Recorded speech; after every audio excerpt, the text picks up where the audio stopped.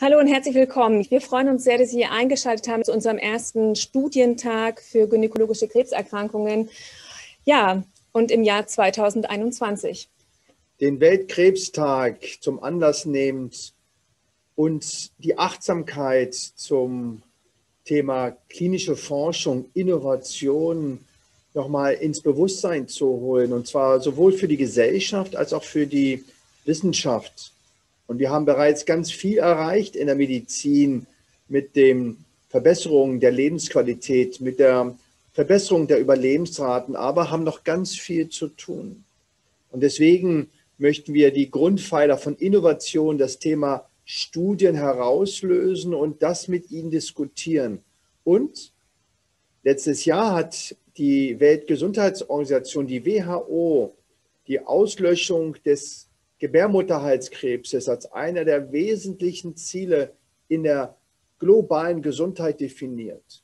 Das heißt, dass wir das Wissen, was verfügbar ist, umsetzen müssen und neue Dinge auch entwickeln. Und das geht eben nur mit der Wissenschaft und mit den klinischen Studien. Und was ganz wichtig ist, dass das eine Chance ist, die Krebsbehandlung im Sinne der Lebensqualität der Nebenwirkung und der Wirksamkeit zu verbessern. Deswegen sind wir heute da. Herr Professor Huli, das Podium gehört Ihnen mit dem ersten äh, Beitrag zu den Highlights aus der Ovalkarzinomforschung. Ja, also vielen Dank und wir wissen, dass wir auf Basis der Pandemie leider nicht alle Informationen im direkten Gespräch eben diskutieren können. Und das ist ja das, was ganz wichtig ist. Und wir wissen, dass die Wissenschaft ganz viel schon erreicht hat, aber es teilweise fünf bis sieben Jahre dauert, bis dieses neue Wissen in die klinische Routine übertragen wird. Und das ist ein Nachteil, weil Wissenschaft soll natürlich auch leben und soll auch letztendlich die Patientin erreichen. Und deswegen ist das ja unsere Philosophie und unsere Strategie, die Patienten zu informieren und wollen heute einen wichtigen Beitrag dafür leisten. Eierstockkrebs ist einer der Erkrankungen, die ganz große Herausforderungen bedarf, weil wir wissen, dass der Eierstockkrebs eben häufig leider fortgeschritten ist, wir keine typischen Symptome aufweisen und dass eben viele Patientinnen ein sogenanntes Rezidiv erfahren. Und deswegen ist das so wichtig, dass wir das neue Wissen auch umsetzen. Und das Ovarialkarzinom ist ein Beispiel dafür, wie wichtig es ist, dass in einer Krankheitsgeschichte und in einer Gesundheitsgeschichte wir jedes Element in seiner Summe einzeln betrachten, aber das eine mit dem anderen aufbaut. Und das heißt, dass die Geschichte dann erfolgreich sein kann, wenn jedes Element für sich in der besten Qualität sich zeigt. Und die gute Nachricht ist, wir haben ganz viel Innovation. Die schlechte Nachricht ist, dass immer noch bis zu jeder zweiten Patientin beim Eierstock, Eileiter und Bauchfellkrebs, weil das eine Erkrankung ist, nicht die optimale Therapie angeboten wird. Der Eierstockkrebs ist nur ein Beispiel, wo wir eigentlich hinwollen. Wir wollen zur personalisierten, individualisierten Strategie. Nicht ein Konzept für alle, sondern für jedes Konzept eine einzelne individuelle Situation. Und deswegen sind wir auf einer Entwicklungsreise, die noch nicht abgeschlossen ist und deswegen wir auch diese Studien brauchen. Und dass wir diese Entwicklung, diese Evolution beim Eierstockkrebs sowohl in der operativen als auch in der medikamentösen Behandlung erfahren haben, konnte nur funktionieren, weil vorher Studien und weil vorher Patienten sich dort engagiert und sich eingebracht haben. Deswegen den herzlichen Dank und es ist eben eine Straße, die wir gemeinsam belaufen müssen. Krebs ist beim ähm, Alltag eine Herausforderung für alle.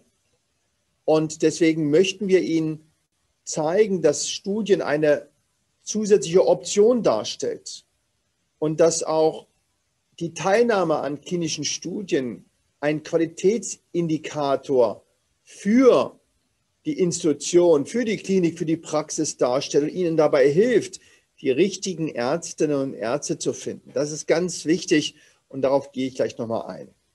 Bevor ich kurz auf die Highlights beim Eierstockkrebs eingehe, nur nochmal auch das, wir noch sehr viel Nihilismus, sehr viel negative Atmosphäre bei der Auseinandersetzung mit Eierstockkrebs begegnen, die sowohl auf der ärztlichen Seite als auch auf der Patientenseite manchmal beruht und wir dies klären müssen im persönlichen Dialog. Mein Eierstockkrebs ist wieder aufgetreten, eine neue Therapie macht doch keinen Sinn und da gibt es erfreulicherweise eben Konzepte, die sogenannte nicht kreuzresistenten Algorithmen, die durchaus eine neue Chemotherapie, eine neue Ziegeltherapie für sinnvoll und auch erfolgreich sein kann. Also das heißt nicht, dass wenn eine Therapie nicht äh, funktionierte, dass keine Chance mehr existiert. Auf dem Weg der Personalisierung, und da möchte ich nochmal betonen, dass das Gespräch, die Anamnese, die sozialen Umstände, die Biologie, die Dynamik, die Symptomatik der Anfang dieses Verständnisses ist, ist aber auch die Gewebecharakterisierung beim Eierstockkrebs von ganz besonderer Bedeutung. Wir haben seit einigen Jahren die Unterscheidung zwischen Low-Grade und High-Grade. Low-Grade sind langsam proliferierende Tumoren, die in der Regel nicht genetisch assoziiert sind, also nicht BRCA 1 oder 2 oder ähnliche Mutationen aufweist. Und dann gibt es das klassische High-Grade-Karzinom, was häufiger im klinischen Alltag auch betrifft. Und das ist auch nur ein Beginn, weil erstmal ist die Achtsamkeit so zu fokussieren, dass man merkt, dass es unterschiedlich. Und mehr und mehr wird klar, dass neben diesem Phänotyp, neben diesem Erscheinungsbild die Tumorbiologie, die molekulare Resistenzmechanismen, dass die eine ganz entscheidende Bedeutung dafür ist, wie die Prognose ist, wie die Vorhersage ist für eine bestimmte Krebstherapie und wir mehr und mehr verstehen, dass das der Beginn ist, die individualisierte Therapiestrategie für die Frauen zu identifizieren. Wir wissen beim Eierstockkrebs auch auf Basis der Studien, dass eben die Tumorkrebsstammzelle aus unterschiedlichen Orten entstehen kann. Der klassische Eierstockkrebs kommt wahrscheinlich überwiegend aus dem Eileiter, aus dem Endstück des Eileiters, also der Verbindung zwischen Gebärmutter und Eierstock. Und einige Tumorzellen kommen aus der Gebärmutterschleimhaut, die sogenannten Endometrioiden-Karzinome. Und das ist ganz relevant, wenn es nachher auch um die Vorsorge und Präventionsstrategie geht. Also die Unterscheidung Low-Grade und High-Grade ist ganz wichtig haben Sie eine Tumorerkrankung, die vor 2014 diagnostiziert wird, wurde, empfehle ich da auch nochmal eine kritische Diskussion, ob es nun ein Low- oder High-Grade ist. Da äh, macht es manchmal Sinn, eine zweite Gewebeanalyse durchzuführen. Was ganz relevant ist, dass wir immer mehr wissen, wie eine Tumorzelle arbeitet und dass jeder Mechanismus irgendwie in Verbindung mit dem anderen steht. Das ist ein Naturwunder, diese Zelle und leider auch die Krebszelle. Und deswegen brauchen wir diese neuen Strategien, die eben uns auf diese Chronifizierung der Erkrankung hinführt. Und das Drei-Säulen-Konzept hier in Berlin vor über zwei Jahren fast jetzt ausgerufen bedeutet, die Akuttherapie, die Operation als wichtigster Prognosefaktor, der postoperative Tumorrest, der ist entscheidend. Dann die zweite Säule, die Chemotherapie, in der Regel über sechs Zyklen alle drei Wochen mit dem Eiben und dem Platin-Medikament dosiert nach Körpergröße, Körpergewicht und Nierenfunktion und das Konzept der Erhaltungstherapie soll also den Effekt, den die Krebstherapie an der Krebszelle erreicht hat, die Remission, das Verschwinden aller Tumorzeichen erhalten, solange es geht. Das ist die neue Strategie, begann mit dem Antianguinese, mit dem Bevacizumab als erste Erhaltungstherapie, weil die Chemotherapie zu verlängern hat keinen Vorteil für das Überleben, sondern nur Nachteile mit der Lebensqualität. Und jetzt, letztes Jahr, zwei großartige neue Zulassungen mit dem PARP-Inhibitor Olaparib, hier in Kombination mit dem Angiogenese-Inhibitor und als sequenzielles Konzept das Niraparib. Für die Primärsituation, für die Erstdiagnose, für die Rezidivsituation haben wir ja alle drei PARP-Inhibitoren zur Verfügung und sogar das eine für die Situation BRCA-Positivität, wo eben eine Platinresistenz oder eine Platintherapie gar nicht geeignet ist. Und wir haben auch neueste Studien zur äh, Rezidivsituation, zur Operation. Und da bin ich ganz stolz, dass wir in Deutschland diese globale Studie erreicht haben und gezeigt haben, dass das durchaus Einfluss auf das Überleben hat und das auch diskutiert wird. Jetzt ganz kurz die beiden Zulassungen, die eben durch die Europäische äh, Arzneimittelbehörde freigegeben worden ist. Das ist auf Basis der ersten Daten zur Solo 1 bei BRCA-Positivität. Wir haben aber schnell gelernt, dass dieser Effekt nachhaltig ist und aber auch letztendlich übertragbar ist auf alle High-Grade-Karzinome. Und deswegen ist die Zulassung, und das sind ganz frische Daten aus dem letzten Kongress äh, der Europäischen Krebsgesellschaft, wo man das Bevacizumab und die Chemotherapie und dann gefolgt dem Olaparib für Patienten mit High-Grade Ovarialkarzinom untersucht hat in einer randomisierten Studie und die Zulassung auch erhalten hat für Patienten, die BRCA positiv sind oder einen sogenannten HRD-Test, also eine Narbe, eine Anfälligkeit im Reparatursystem. Und die zweite Zulassung, die wir leider nicht so feiern konnten, wie wir es eigentlich wollten, ist die sogenannte Prima-Studie. Vorher war das die Paola-Studie, die eben die Patientin behandelt hat und bei Ansprechen dann die Monotherapie mit dem Niraparib, also einem anderen PARP-Inhibitor, äh, untersucht hat. Und hier sehen Sie, das ist eine mathematische äh, Grafik, die zeigt, dass wenn Sie die gestrichelte Linie nicht berühren, der Effekt immer da ist und zwar in allen Altersgruppen, auch im, ähm, in den allen Tumorstadien. Die Studien sind nicht direkt alle miteinander zu vergleichen, aber zeigen, dass dieser PARP-Inhibitor einen sehr starken Effekt hat und wir deswegen auch in der Leitlinie jetzt ähm, das als eine Sollempfehlung definiert haben, die sogenannte Erhaltungstherapie. Und das ist biomarkerunabhängig, dafür braucht man keinen diagnostischen Test. Und da bin ich ganz stolz. Es ist extrem selten, dass man zwei Zulassungen eben in einem Jahr hat. Und das hat auch was mit Ihnen zu tun natürlich und mit den sogenannten Prüfärzten, die das im europäischen und globalen Orchester der Wissensgemeinschaft äh, durchgeführt, umgesetzt und erfolgreich gezeigt hat. Ganz zum Schluss möchte ich Ihnen zeigen, dass Wissenschaft das Studieren des einzelnen Patienten bedeutet, das Beobachten, das Nachverfolgen, das Hinterfragen.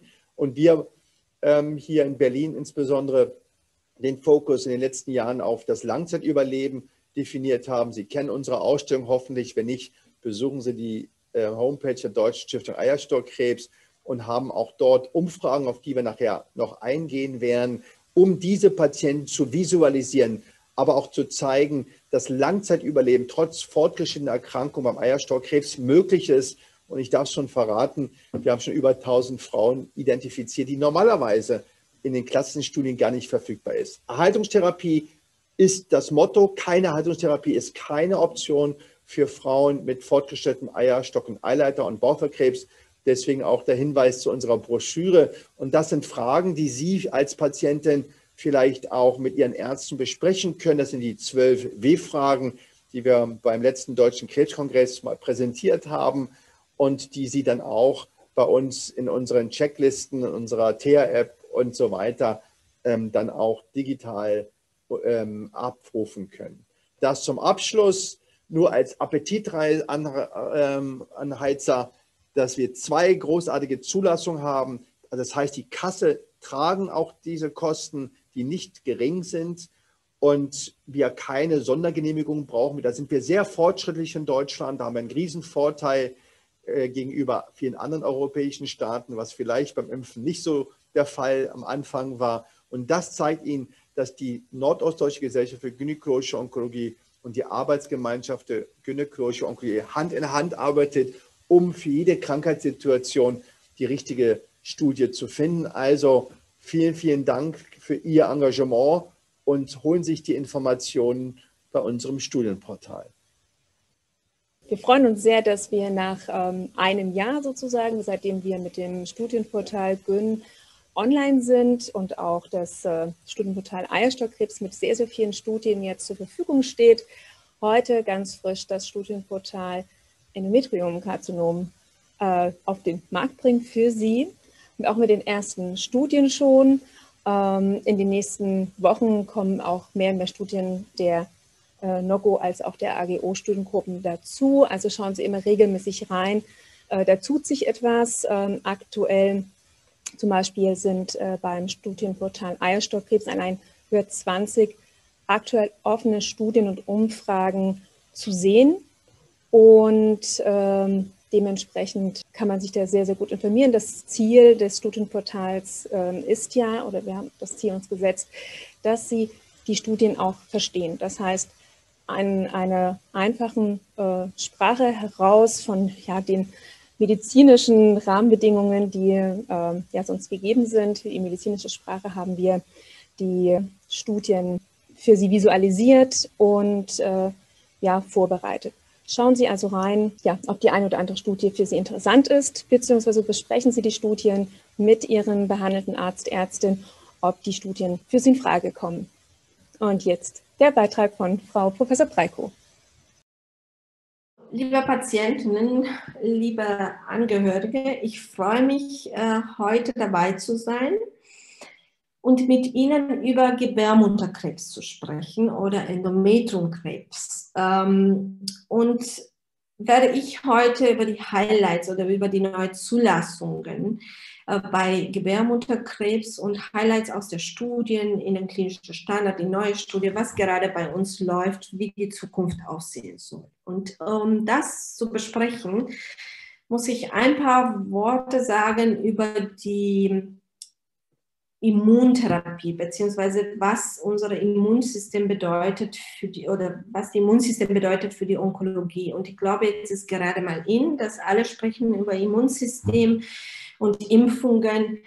Ähm, wichtig ist, äh, Immunsystem spricht jetzt, spielt eine Rolle nicht nur uns gegen die Viren oder Bakterien zu äh, schützen, sondern tatsächlich auch gegen die Tumorzellen oder gegen Krebs. Und im Prinzip sollte eigentlich genug sein, unser eigenes Immunsystem sollte genug Kraft haben, die Tumorzellen zu bekämpfen. Wir haben im Prinzip ein äh, angeborenes Immunsystem, äh, der sozusagen gar nicht äh, veränderbar ist. Also der ist immer so, wie er angeboren worden ist. Der reagiert aber sehr schnell. Also ähm, es ist wichtig, zum Beispiel für eine akute Infektion, ist wichtig für etwas, die neu auftritt, akut jetzt auftritt. Und es gibt da sozusagen ein ähm, adaptive adaptive Immunsystem. Das ist etwas, die sich verändern kann, die noch lernen kann, ist ein Immunsystem, der auch Gedächtnis hat und der sich erinnert hat, zum Beispiel, ja, diese Virus habe ich schon mal gesehen, ich weiß, wie ich diese Virus inaktiviere. Das ist wichtig nicht nur für die Impfung, sondern es ist wichtig tatsächlich auch für die Onkologie beziehungsweise für die Tumortherapie. Und äh, Immunsystem ist komplex und ich glaube, selbst wir Ärzte sind wir manchmal überfordert. Wichtig ist, es gibt hier unterschiedliche Zellen. Die Weißblutkörbchen natürlich spielen eine sehr wichtige Rolle. Aber diese sind unterschiedlich. Es ist nicht nur eine Art von Zelle. Die haben sozusagen die Natural Killer. Die sind, wie soll ich das sagen, primitive Killer, die einfach vielleicht Pistole und Hammer benutzen. Die sind aber effektiv. Es gibt dann die zytotoxische äh, Immunzelle, das sind ein bisschen schlauer, die benutzen, sagen wir so, die ähm, Chemiewaffen. Äh, dann haben wir die äh, Gedächtniszelle, die sind diejenigen, die sich immer erinnern. Diese Tumorzelle habe ich gesehen, dieser Virus habe ich gesehen, das habe ich damals gemacht. Die sind auch sehr, sehr wichtig. Und dann sind so die sogenannten Suppressoren, sind die Immunzelle, die unsere Immunsystem oder Immunreaktion unterdrücken können. Die können sagen, okay, Virus ist getötet worden, jetzt bleibt mal ruhig, ähm, Gefahr ist weg, jetzt sollen wir alles wieder mal eine Pause nehmen. Es sind auch ganz, ganz wichtig. Warum sind die wichtig? Praktisch Immunsystem, für Immunsystem, ähm, was macht er? Er unterscheidet primär selbst vom Fremd. Das ist natürlich noch schwieriger bei zum Beispiel Tumorzellen, weil Tumorzellen sind eigene Zellen, sind keine fremde Zellen. Ähm, Immunsystem ist wichtig, dass er Erreger eliminiert, Infektion eliminiert. Aber auf dieser anderen Seite ist es wichtig, dass er nicht zu stark aktiviert wird, weil dann haben wir sozusagen diese Autoimmunreaktion, die wir öfters äh, mal hören oder selber sogar erfahren haben. Also im Prinzip, wenn ich ein überaktives Immunsystem habe, habe ich eine, in der Regel eine Autoimmunreaktion. Wenn ich ein unteraktives Immunsystem habe, dann kriege ich oft Infektion. Und deswegen dieses Gleichgewicht ist ganz, ganz wichtig für unser Immunsystem. Ich habe gesagt, die Tumorzellen könnten eigentlich getötet werden, wahrscheinlich alleine von unserem Immunsystem, nur die sind relativ schlau. Und die entwickeln auf die Oberfläche oder die, ähm, ja, die entwickeln auf die Oberfläche unterschiedliche Eiweiße, die dann unser Immunsystem zum Beispiel supprimieren, also hemmen unsere Immunzellen. Und das sind, was Sie hier sehen. Auf der anderen Seite sehen Sie sozusagen die aktivierenden Signale. Aber die, die Tumorzellen sind besonders dafür bekannt, dass die sozusagen die inaktivierenden Signale äh, stimulieren. Äh, wir haben deswegen die sogenannte auch ähm, heiße Tumoren und kalte Tumoren. Was bedeutet heiße Tumoren? Heiße Tumoren kommt davon, dass diese Tumoren sehen wie ein inflammatorisch, wie eine Entzündung. Diese Gewebe ist voll mit Immunzellen, also nicht nur die Tumorzellen, sondern auch die Immunzellen, aber komischerweise diese Immunzellen sind nicht aktiv. Die sind von der Tumorzelle inaktiviert. Die kalte Tumoren haben wir nur Tumorzelle drin und haben wir per se sehr wenige, ähm, sehr wenige Immunzellen drin. Wichtig ist, diese heißen Tumoren, wo die Immunzellen schon vorhanden sind, die sind genau die Tumoren, die sehr gut mit Immuntherapien sie behandeln lassen. Warum? Weil die Immuntherapien diese Bremse wegzieht, also diese Inaktivierung wegnimmt. Die Immunzellen werden aktiviert und die werden dann sozusagen gegen die Tumorzellen kämpfen.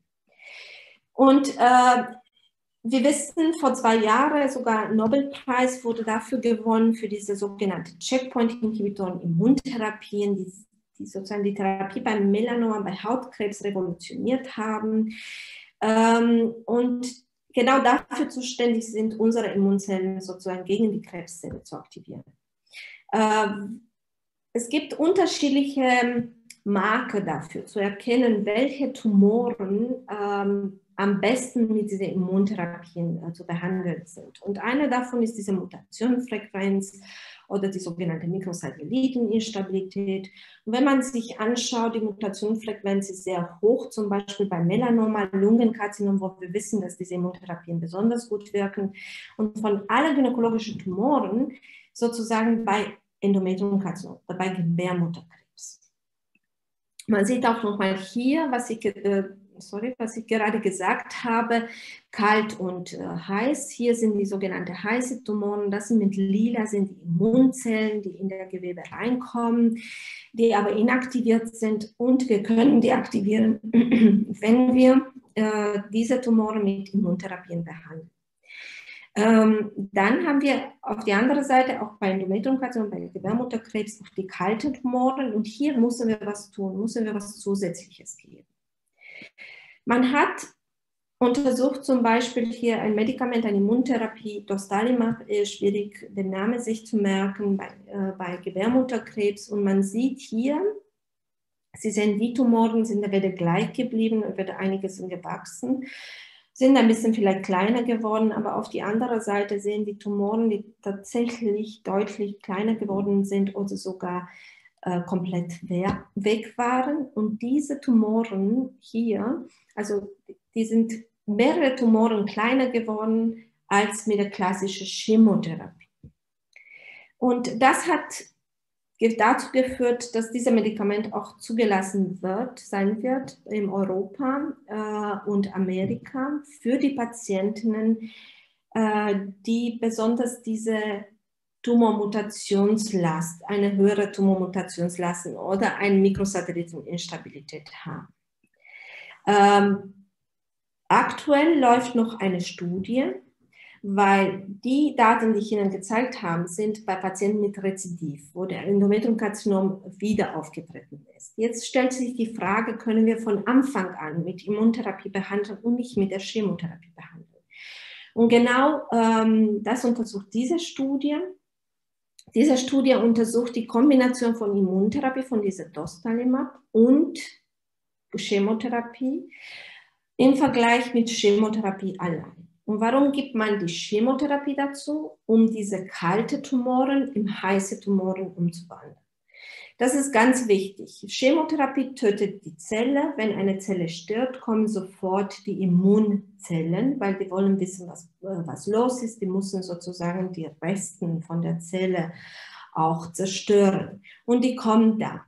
Äh, und das bedeutet, damit können wir sozusagen eine kalte Tumor in eine heiße Tumor umwandeln. Und wir hoffen damit, dass wir mit dieser Kombination Chemotherapie und Immuntherapie nicht nur die Mikrosatelliten instabile, also diese heiße Tumoren behandeln können, sondern alle äh, Endometriumkarzinomen. Eine andere Therapie, die zugelassen wird, auch jetzt in diesem Frühling oder sogar äh, oder spätestens im Sommer dieses Jahr, ist die Kombination Checkpoint-Inhibitor, Pembrolizumab und Lenvatinib. Beide Medikamente sind schon zugelassen für andere Indikationen. Das ist nochmal eine Studie, die zeigt, dass diese Kombination besonders gut gewirkt hat bei äh, Gebärmutterkrebs, unabhängig von welchem Typ dieser Tumor war, ob, ob kalt oder, äh, oder heiß. Diese Kombination hat sehr gut gewirkt. Natürlich kommt auch mit Nebenwirkungen, wahrscheinlich andere Nebenwirkungen als die Chemotherapie, aber die Ansprechrate ist auf jeden Fall besser als die Ansprechrate zu der klassischen Chemotherapie. Auch hier war erstmal äh, oder ist erstmal die Untersuchung gelaufen im Rezidivsituation bei äh, Gebärmutterkrebs, die schon mal wieder aufgetreten ist. Und jetzt wollen wir wieder untersuchen, ob wir diese Therapie nicht von Anfang an geben können. Die Studie läuft, die Studie wird bald geschlossen, das muss ich sagen, innerhalb, ich glaube, maximal zwei Monate rekrutiert noch die Studie und äh, untersucht, äh, also bei Zufallsprinzip werden die Patienten eingeteilt in Pembrolizumab und Lenvatinib versus Chemotherapie. 1 zu 1. Also die Hälfte der Patienten kriegen die neue Kombination und die Hälfte kriegen die klassische Chemotherapie. Und das wird nochmal untersucht, ob diese Therapie genauso gut oder vielleicht besser ist als die Chemotherapie allein. Bis jetzt habe ich viel erzählt über die Chemotherapie äh, über die Immuntherapie, was, wie gesagt, bis jetzt besonders gut wirkt von allen gynäkologischen Malignome beim, Endo, beim Endometriumkarzinom, bei Gebärmutterkrebs. Es gibt aber Studien, die auch andere Medikamente sich anschauen. Und das ist sozusagen die Siendo-Studie. Die äh, ist ein, eine, ein Medikament, die blockiert ein Transporterprotein die ganz wichtig ist, die Immun, äh, äh die Tumorsuppressorproteine äh, und äh, die Tumorsuppressorproteine sozusagen äh, zu inaktivieren. Und man sieht, wenn, wenn, diese, wenn diese Eiweiß ähm, vorhanden ist in der Tumorgewebe, diese Tumoren sind sehr aggressiv sind die Tumoren, die am meisten Metastasie, also Tochtertumoren entwickeln. Außer sind auch die Tumoren, die oft äh, resistent werden zu der klassischen Chemotherapie. Diese Studie ist ein bisschen anders als die, die ich bis jetzt äh, gezeigt habe, ist eine reine Erhaltungstherapie. Das bedeutet, die Patienten bekommen erstmal die klassische Chemotherapie, Paclitaxel und Carboplatin und nach zwölf Wochen Therapie, das bedeutet meistens vier Zyklen, vier Gaben oder wenn man wöchentlich bekommt, das zwölf Gaben, äh, können die Studien in, äh, können die Patienten in diese Studie eingeschlossen werden. Die werden wieder randomisiert, das bedeutet wieder Zufallsprinzip, also Computer entscheidet für uns. In diesem Medikament, Selinexor, äh, was gibt man als Tablette einmal pro Woche versus Placebo einmal pro Woche. Ähm, und wir werden dann wieder gucken, ob diese Patienten später ein Rezidiv entwickeln oder vielleicht gar kein Rezidiv, also auch die Gesamtüberlegung, ob signifikant länger ist oder auch diese Zeit zwischen zwei äh, Rezidive, zwei Tumoren sozusagen länger ist, als ähm, wenn man keine Erhaltungstherapie bekommt. Die Studie ist auch geöffnet für die Patienten, die erstmal äh, die erste Linie gerade bekommen, also die erste Therapie bekommen, oder für Patienten, die maximal eine Vortherapie bekommen haben. Ähm, und damit möchte ich äh, hier meine, meinen Vortrag abschließen. Erstmal möchte ich mich aber bedanken bei den Patientinnen, die ähm, in all diese Studien mitmachen oder auch mitgemacht haben und äh, die uns tatsächlich, äh, uns alle geholfen haben, einen Schritt, einen großen Schritt vorwärts zu machen. Ähm, möchte mich auch an unsere Study Nurses äh, bedanken, die wirklich mit ihnen täglich mehr als die Ärzte vielleicht im Kontakt sind und äh, auf alle Patienten sozusagen aufpassen und sich Mühe geben, diese Daten zu, korrekt einzugeben. Äh, natürlich auch an die Pharmaindustrie, die diese Studie finanziert und auch viel ähm, Potenzial in diese Forschung einsteckt und ähm, offen sind für Veränderungen. Äh, und natürlich an alle Ärzte, die in dieser Studie mitgemacht haben. Und ich glaube, dass wir nur zusammen und gemeinsam ähm, eine richtige Behandlung gegen Krebs äh, erfinden können. Und äh, ich glaube, diese Zeit ist auch nicht so weit beim Endometriumkarzinom. Ich glaube, wir sind endlich mal auf dem richtigen Weg. Ich bedanke mich.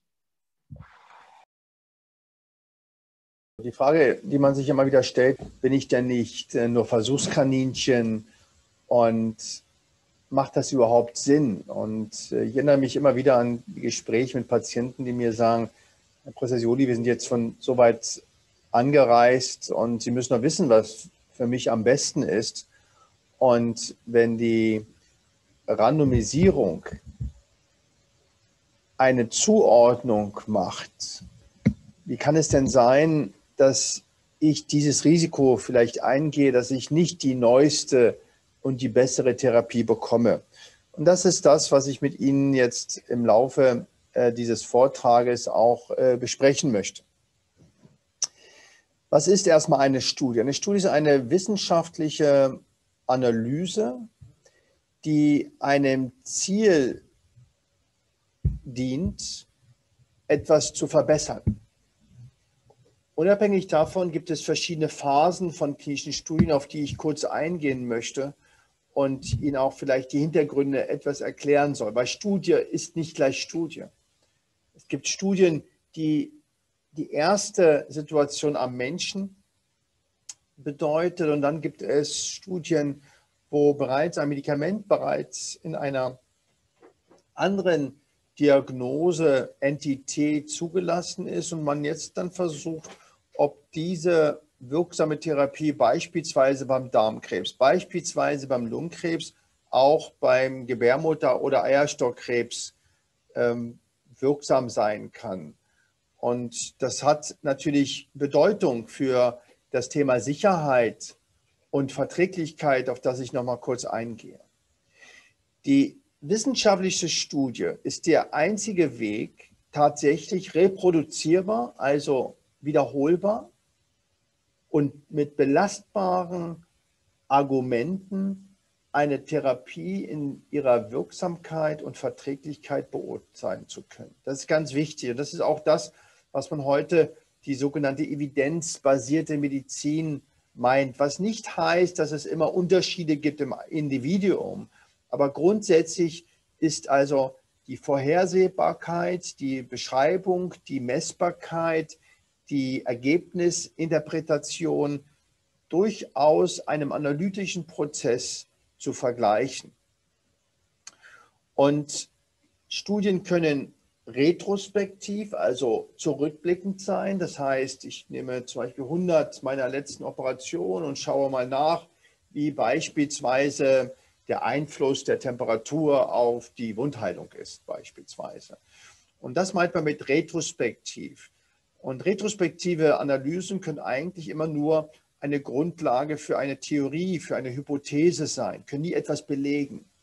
Wenn Sie etwas belegen wollen, dass etwas tatsächlich sicher und wirksam ist, müssen Sie eben das prospektiv, also geplant und zwar in die Zukunft gerichtet, eine Untersuchung durchführen. Das meint man mit prospektiv. Und Phase 1 Studien bedeuten, dass man erstmal nur schaut, ob es vertragen wird. Und man versucht im Rahmen der Phase 1 meistens auch die richtige Dosis zu erkennen. Wie viel Dosis hält diese Patientin oder dieser Patient aus? Und das ist in der Entwicklung einer der ersten Dinge, die am Menschen überprüft werden. Und die Phase 2, die geht schon in die nächste Stufe und schaut nach Verträglichkeit und nimmt die Dosis, die in der Phase 1 definiert worden ist, die sogenannte maximale tolerable Dosis, und schaut, ob es da beispielsweise Hinweise für die Wirksamkeit gibt. Ist noch kein Beweis. Das bedarf eben der Phase 3 wo man dann schaut, was ist die Standardtherapie und das dann vergleicht mit dem neuen Konzept. Und dann gibt es sogenannte Phase 4 Untersuchungen, sogenannte Observationsstudien, der Blick über die Schulter, wo man dann an Tausenden von Frauen schaut, dass die zugelassene Therapie auch wirklich sicher ist, ohne dass man eben diese strengen Ein- und Ausschlusskriterien die eine Patientin für die Teilnahme an einer Studie qualifiziert erfüllt sind. Was meint man mit Einschlusskriterien? Das meint man das Alter, die Funktionsparameter, da meint man die Leberfunktion, der Knochenmarksfunktion und so weiter. Und dann gibt es Ausschlusskriterien, die gar nicht dann erlauben, an dieser Studie teilzunehmen. Das kann zum Beispiel eine frische Lungenentzündung sein oder eine Thrombose das heißt, wenn das aufgetreten ist, kann man nicht an dieser Studie teilnehmen. Und deswegen gibt es dann auch immer Einschränkungen später in der Interpretation dieser Daten. Und da hat jedes Studienprotokoll seine eigenen einen Ausschusskriterien. Die gute Nachricht ist, dass wir aus den laufenden Studienprotokollen unserer Studiengruppen das Alter grundsätzlich herausgenommen äh, haben, damit eben man nicht eben nur junge Frauen in diese Konzepte einbringt, sondern auch natürlich die 70, die 75, 80-Jährige, die teilweise genauso jung und stark sind äh, wie die anderen. Was wichtig ist, dass eben die Teilnahme an Studien zu einem ein Qualitätsmerkmal darstellt, darauf gehe ich gleich ein. Und zum Zweiten wir auch gesehen haben, dass Patienten, die an Studien teilnehmen, unabhängig vom Ergebnis der Studie, in der Regel einen besseren Verlauf haben. Wie kann das sein, kann man sich fragen. Und das ist ein Ergebnis von der österreichischen Studiengruppe, die das beim Brustkrebs gezeigt hat. Woran kann das sein, dass wenn die Studie selbst negativ, also ohne Nutzen oder ohne zusätzlichen Nutzen abgeschlossen hatte, die Patientin innerhalb einer Studie trotzdem besser ist. Und zwar ist das meine Interpretation, dass sie einmal im Rahmen einer Studie in einem Zentrum ist, die eben an Innovation ganz nah dran sind. Darauf gehe ich gleich ein Folge dir. Zweitens, dass sie ein Team haben, was sich immer kontinuierlich, systematisch fort- und weiterbildet und auch von unabhängiger Seite sogenannte Monitore überprüft werden. Das heißt, da ist ein Team, was sich mit dieser Erkrankung auseinandersetzt, die auch bereit ist, von Fehlern zu lernen, auch anpasst die neuesten Therapiekonzepte. Und deswegen ist das schon ein Garant für eine bessere ähm, Therapie und bin deswegen ganz ähm, stolz darauf, dass wir eben diese Konzepte haben. Wissenschaftliche Untersuchungen sind nicht einfach mal so zu gestalten, sondern sie folgen ganz wichtigen ethischen, aber auch prozessalen Algorithmen. Man nennt so dies Good Clinical Practice. Da geht es um Aufklärung, Information, Kontrollmechanismen für die Sicherheit, für die Evaluierung, für die Kommunikation, Datenschutz, ganz, ganz viele Aspekte, die man im Sinne eines Studienprotokolls und häufig auch in Abstimmung mit dem Datenschutzbeauftragten und der Ethikkommission entwickelt und so anpasst, dass es eben auch eine freiwillige Aktion darstellt. Es sollte kein Druck sein, es sollte kein Nachteil sein, nicht an Studien teilzunehmen.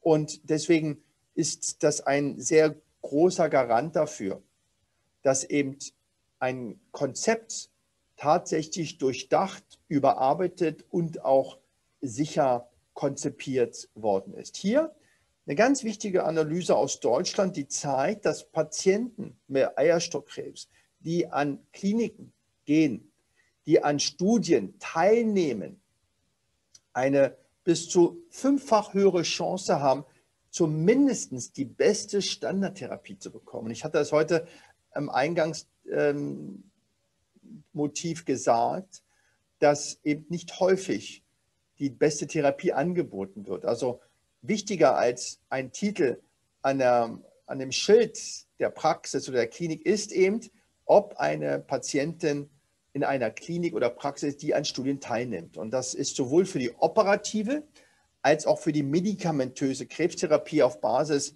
dieser Untersuchung, die schon viele Jahre her ist, gezeigt worden. Also es ist ein Garant für Qualität. Das ist die wichtige Botschaft, die ich Ihnen mitgeben will.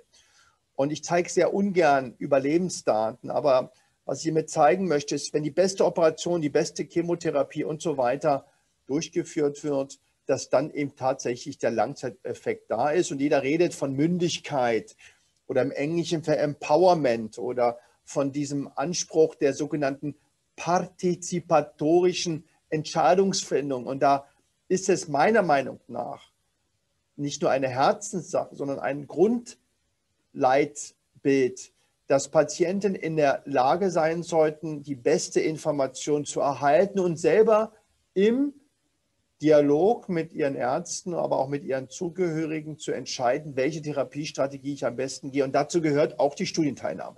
Das ist ganz wichtig und ist Zeichen der sogenannten Gesundheitskompetenz. Und das möchten wir in der Deutschen Stiftung Eierstockkrebs auch nachhaltig stärken und deswegen unsere vielfältigen Aktivitäten. Ich habe das mal zusammengestellt, was Sie vielleicht fragen können, wenn es um das Thema Studie geht und würden auch das Ihnen zur Verfügung stellen im Rahmen ähm, dieser äh, Veranstaltung, aber auch über unsere Checklisten und über unseren Therapiebegleiter, unsere THA-App und so weiter. Und ähm, denke, das ist ganz wichtig, dass Sie Ihre Rechte kennen, aber auch Ihre Pflichten.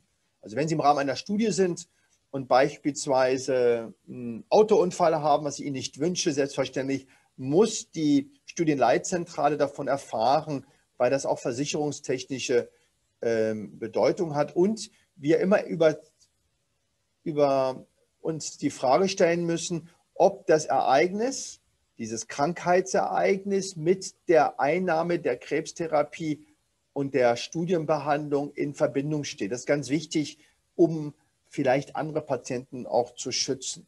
Das ist ganz relevant, dass das auch ihre Pflicht ist und deswegen muss die Kommunikation äh, sehr gut sein. Wir haben eine große Palette an Studien, die wir Ihnen äh, zur Verfügung stellen. Und nochmal, es ist eine Option, es ist ein, ein Schritt in die Zukunft. Es sind häufig innovative Therapiekonzepte, die teilweise noch zwei, vier, fünf Jahre brauchen, um überhaupt in den ähm, Markt zu kommen und deswegen ist man der Sache voraus.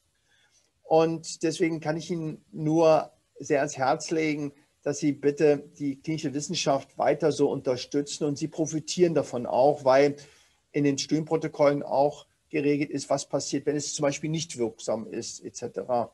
Und deswegen den Fortschritt, den wir jetzt erreicht haben, den müssen wir weiter nutzen und deswegen brauchen wir auch diese Vielzahl an weiteren Studienkonzepte, ähm, die wir im Schulterschluss ähm, mit den Fachgesellschaften durchführen. Und deswegen denke ich, habe ich Ihnen jetzt genug Argumente gegeben, warum an Studien und möchte Sie engagieren und motivieren, dies auch weiter voranzutreiben und danke Ihnen für Ihren Mut und Ihren Dialog mit der Wissenschaft. Ja, herzlich willkommen äh, jetzt in der Runde, wo es zum Thema Studien äh, geht, äh, für die Patientinnen selbst, die Fragen, äh, die die betroffenen Frauen haben. Und dazu äh, freue ich mich sehr, dass äh, wir Andrea Krull eingeladen haben und die Dorothea Müller.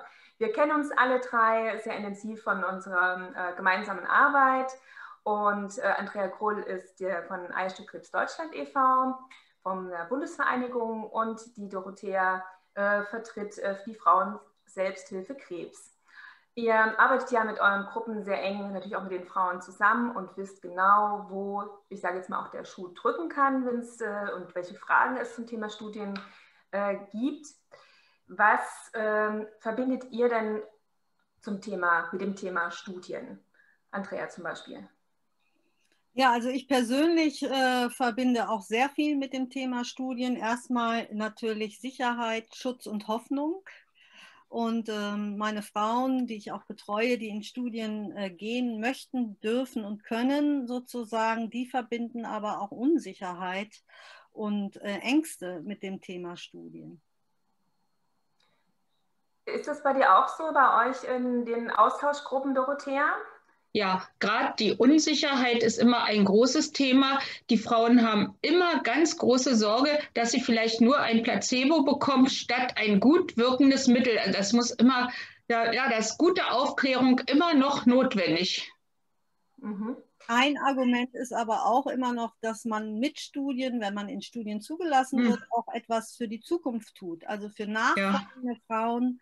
Ähm, da, da, für mich persönlich ist das ein Argument, aber eben auch die Lebensqualität ist immer wieder ein Thema bei Frauen, die in Studien zugelassen werden dürfen oder sind, ähm, ob damit die Lebensqualität sich steigert oder ähm, schlechter wird, eben weil die Unsicherheit da ist. Wo ähm, erhalten denn die meisten Frauen ähm, Studienangebote? Beziehungsweise wie, in viel, ja, wie kommen die Frauen denn eurer Informationen nach, eurer Erfahrung nach an Studien? Ja, bei uns ist es in erster Linie so, dass das über die Kliniken, die behandelnden Kliniken erst einmal angeboten wird. Oftmals auch nicht so ganz günstig, manchmal so auf dem Flur angesprochen und dann ja, wird es abgelehnt oder wenn sie äh, jemanden kennen, wenn sie schon Selbsthilfeorganisationen kennen. Das ist ja immer so die Frage, ne? dass sie dann bei uns mal nachfragen, wo kann man sich informieren? Ist das gut? Kann ich das machen? Ja, aber in erster Linie über die Kliniken bei uns. Welche Fragen und Bedenken haben denn eurer Erfahrung nach die ähm, Patientinnen am häufigsten? Am meisten haben sie die Bedenken, dass sie nicht richtig standardgemäß dann behandelt werden, dass sie ein Placebo bekommen statt einer richtigen Medizin. Es muss klar sein und auch klar vermittelt werden, dass sie mindestens den Standard bekommen, aber eigentlich zumindest ein Teil, dem ist nun mal so das Bessere oder das Neue erprobt wird. Genau, viele Frauen fühlen sich nämlich wie Versuchskaninchen. Und das mhm. liegt natürlich daran, dass die Aufklärung mangelhaft ist, sage mhm. ich mal. Mhm. Sie sind es ja letztendlich mhm. nicht, aber das Gefühl kann ich sehr gut mhm. nachvollziehen, weil auch die Pharma nicht transparent mitteilt, was eben passiert. Mhm. Und auch die Studienresultate werden überhaupt nicht den Frauen, die dann in den Studien sind, mitgeteilt. Ja? Und das ist etwas, was auch zwingend notwendig ist. Wofür mache ich das eigentlich und welchen Benefit hat es für meine Nachwelt? Ja, ja. Ja, das finde ich auch sehr wichtig. Also in der Studie, in der ich drin war, da habe ich dann später nachgeforscht, was ist denn dabei überhaupt rausgekommen. Und das also, kann nicht sein, dass du selbst hm. nachforschst, sondern das muss in dem Paket mit hm. drin sein. so und so viel Steps mhm. und wir sind auf Stufe 7 und bei 9 erfahren sie, was es bringt. Also da muss ein Plan hinterstehen. Ja. Also da gibt es auf alle Fälle noch ähm, Optimierungsmöglichkeiten, ähm, tatsächlich was die mhm. Präsentation der Resultate angeht. Ja, bei uns auch. Das geht immer über die Kliniken als Impuls sozusagen, mhm. aber danach recherchieren Frauen gerne selbst, also auch im Internet, auf dem äh, gynäkologischen Studienportal natürlich, da sind sie ja zusammengefasst aber auch teilweise so frei im Netz ne, und äh, auch unter ähm, anderen Fachbegriffen, wie zum Beispiel das englische Wort Trials, mhm. kann man dann auch immer noch mal erkennen, wenn man Englisch spricht, was das für eine Studie ist und woher sie kommt. Das heißt also gerade auch die Informationsbeschaffung über das Internet ist ein ganz gängiger Weg. Ja. Ähm, ist das äh, eurer Meinung nach auch ein bisschen mit Komplikationen verbunden? Also ich meine, wenn, wenn man die Studien nur im Englischen äh, aufnehmen kann, ähm, beziehungsweise wo gibt es denn da noch so Ansätze, dass äh, das Thema Studien in deutscher Sprache, also wir als Stiftung begleiten mhm. ja vor allen Dingen die Eierstockkrebsstudien, ähm, aber in, für die anderen gynäkologischen Tumore ist das ja ähm, alles noch ein offeneres Feld. Was äh, gibt es denn da für Ansatzpunkte, wo was noch besser werden kann? Hm. Ja, also ich empfehle da immer einmal äh, beim Krebsforschungszentrum nachzufragen, beim KIT und auch beim Nationalen Zentrum für Tumorforschung in Heidelberg nachzufragen. Und Deutsche Krebshilfe ist auch immer eine ganz gute Adresse. Genau, das mache ich auch. Und ähm, ich selber spreche sehr gut Englisch und viele Frauen, die mir eine Studie nennen, in die sie reinpassen würden, ähm, die haben dann auch schon recherchiert und fragen mich dann nochmal um Übersetzung. Mhm. da helfe ich ihnen gerne bei. Aber mhm. ich verweise natürlich selbstverständlich auf die mhm. Krebshilfe und auf die eben genannten äh, Informationsquellen. Das ist wichtig, aber es, also es scheitert oft auch an der englischen Sprache, weil ja alle Studien erstmal auf Englisch gelauncht werden, sozusagen. Mhm. Ne? Und das muss man wissen. Ihr beide, ähm, habt ihr beide schon an Studien teilgenommen? Und äh, wenn ja, also welche, äh, welche ja, Erfahrungen habt ihr dann persönlich gemacht mit meiner Studienteilnahme? Hm. Dorothee, Dorothea? Ja, ich habe bei Ersterkrankung 2003 an einer Studie teilgenommen ja, die Erfahrung war sehr gut. Also ich, also ich war sowieso immer gut betreut. Ich hatte immer Glück mit den Ärzten. Ja, die Erfahrung war einfach gut. Leider kam dann bei dem Ergebnis nicht das so raus, was man sich erhofft hatte. Aber ich denke, ich habe davon profitiert. Ja, und dann hatte ich, ja, nach den Operationen wird ja dann immer gefragt, ob sie das Gewebe zu Studienzwecken verwenden dürfen. Da habe ich schon ein paar Mal immer unterschrieben, ja, weil es einfach wichtig ist, wie Andreas schon sagt, es ist einfach auch für die nachfolgenden Frauen wichtig, dass gute Forschung betrieben wird. Ich selbst habe noch nie bei einer Studie mitgemacht, weil ich ja vor acht Jahren erkrankt bin und äh, da gab es kaum oder keine dazu. Aber das Interessante ist, umgedreht jetzt arbeite ich in Studiengruppen mit und mhm. das als Eierstockkrebs Deutschland, also äh, Patientenstimme sein und sehe sehr gut, wie mhm. die Ärzte oder auch die Forscher eine Studie zusammenstellen, was die wichtigen Fragen sind, was überhaupt die Zielfrage mhm. und Zielantwort werden soll. Und ich sehe sehr genau, dass ähm, sie sehr gut ähm, ja, erarbeitet werden mit einer, einem hehren Ziel der Frau, also Qualität und äh, Genesung mhm. schaffen. Das ist eine, ein toller Input für mich, den ich auch gerne mhm. weitergebe. Toll, wenn du in Studiengruppen äh, mitarbeitest als äh, Patientenvertreterin, was gibt es denn ähm, deiner Ansicht nach noch für Ansatzpunkte zur Verbesserung? Oder wo, wo kann man äh, noch mehr äh, Teilnehmerinnen, potenzielle Teilnehmerinnen interessieren für Studien? Wo gibt es denn da so die Knackstellen? Na, insgesamt ist es ja die Aufklärung über eine Studie. Mhm. Das machen ja meistens Study Nurses oder Ärzte im Galopp. Ja, das ist ja immer genau. eine kleine Kritik, die ich da jetzt mal auch einwerfen möchte. Ähm, also die Aufklärung ist mhm. wichtig. Dann auch, dass es ähm, die Fremdwörter völlig eliminiert werden, also die medizinischen Fremdwörter und auch die Kürzel müssen völlig eliminiert werden. Also es muss in einfache mhm. Sprache umgesetzt werden. Und ich glaube einfach, dass eine Frau eine lange Strecke braucht, um sich das zu überlegen. Also nicht nur drei Tage mhm. oder fünf Tage, sondern dass es einen Puffer geben muss von mindestens 14 Tagen, wo eine Frau oder ein Patient, Any-Patient sozusagen, die mhm. Möglichkeit mhm. hat, in dieser Zeit, die gut ist, sich zu reflektieren, Fragen zu erarbeiten, mit dem Partner zu reden, um die dann auch nochmal stellen zu dürfen. Mhm.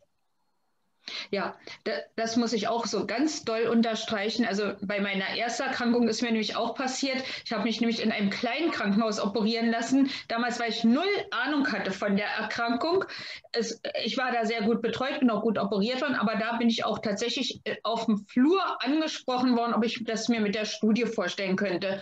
Und da habe ich gedacht, nee, machst du nicht. Aber ich habe dann das Krankenhaus gewechselt und bin ins große Klinikum gegangen und da hat der Professor eigentlich gar nicht lange gefackelt. Der hat gesagt, da gibt es eine Studie, da können Sie ein gutes Medikament, eine gute Therapie bekommen, dann nehmen wir Sie rein. Naja, und ich mich versah, habe ich denn doch dazu gestimmt und das war auch gut so.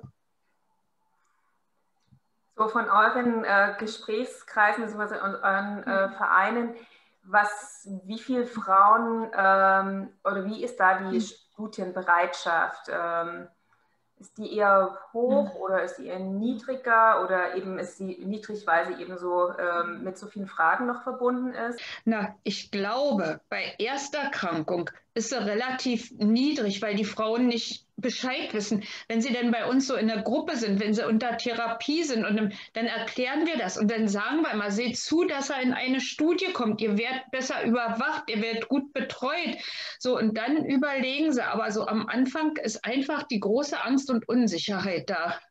Also es wäre günstig, wenn im Endeffekt im Rahmen der, äh, der Therapie es äh, von vornherein auch äh, klar ist, dass eine mhm. Diskussion für eine eventuelle Teilnahme an der mhm. Studie mhm. äh, diskutiert werden sollte ja. mit den Ärzten, also die, oder die Ärzte und Ärztinnen mhm. auf die Patienten äh, eigentlich immer zukommen sollten, wenn es denn möglich ist, ja. bei einer Studie teilzunehmen. Ja, weil ansonsten die Information zu Studien einfach nicht mhm. äh, oder selten da ist. Ja, mhm. okay.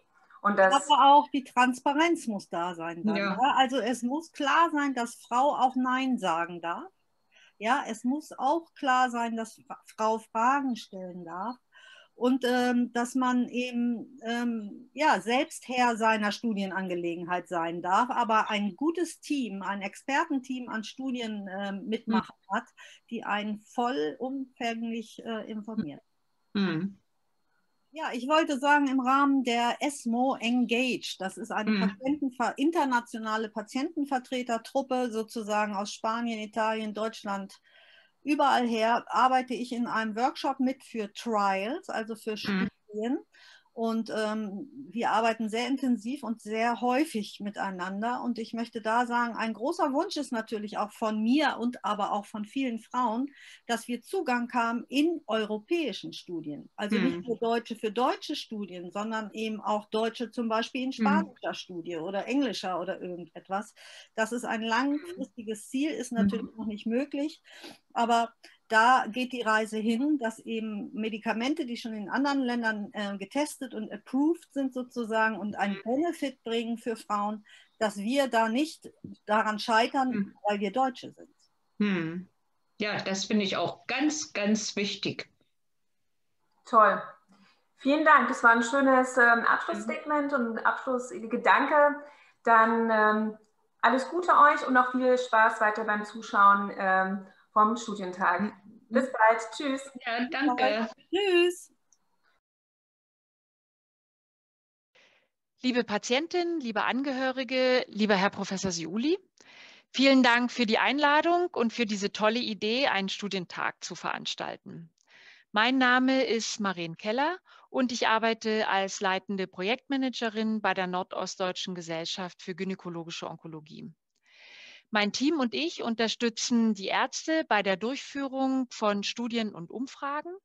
Und dabei arbeiten wir aber hauptsächlich im Hintergrund. Wir kümmern uns zum Beispiel um die Ethikeinreichung oder die Genehmigung von den Behörden, aber auch um die Patienteninformation oder um Verträge mit weiteren Dienstleistern. Dabei arbeiten wir aber eng mit dem Team von Professor Siuli zusammen. Ein wesentlicher Bestandteil meiner Arbeit und der meines Teams ist die Durchführung von Patientenumfragen, die wir Ihnen heute besonders vorstellen möchten. Bei diesen Umfragen äh, wollen wir die Wahrnehmung der Wünsche, der Erwartungen und die Perspektiven von Patientinnen mit gynäkologischen Tumoren herausfinden, um Therapieansätze und Behandlungen zu verbessern. Aus diesem Wunsch heraus entstanden viele Umfragen, die wir als Expression-Umfragen bezeichnen, durch die die Meinungen, Erwartungen und Hoffnungen der Patienten deutlich werden sollen. Hiermit möchte ich Ihnen einen kurzen Überblick über die bereits abgeschlossenen Umfragen geben. Diese Umfragen wurden mit unterschiedlicher Beteiligung und sowohl international als auch national im Rahmen von globalen und europäischen Studiengruppen durchgeführt. Daraus sind viele Publikationen in internationalen hochrangigen Journalen entstanden. Jetzt möchte ich aber meinen Fokus auf die laufenden Umfragen, die wir gerade haben, richten. Im Moment haben wir vier laufende Umfragen mit unterschiedlichem Fokus. Bei dieser ersten Umfrage, die ich Ihnen vorstellen möchte, geht es um Langzeitüberlebende. Damit sind Patientinnen gemeint, die ihre Diagnose bereits vor fünf Jahren hatten diese Umfrage wird international durchgeführt und hat bereits 1147 Teilnehmerinnen, die, an die, die diese Umfrage ausgefüllt haben.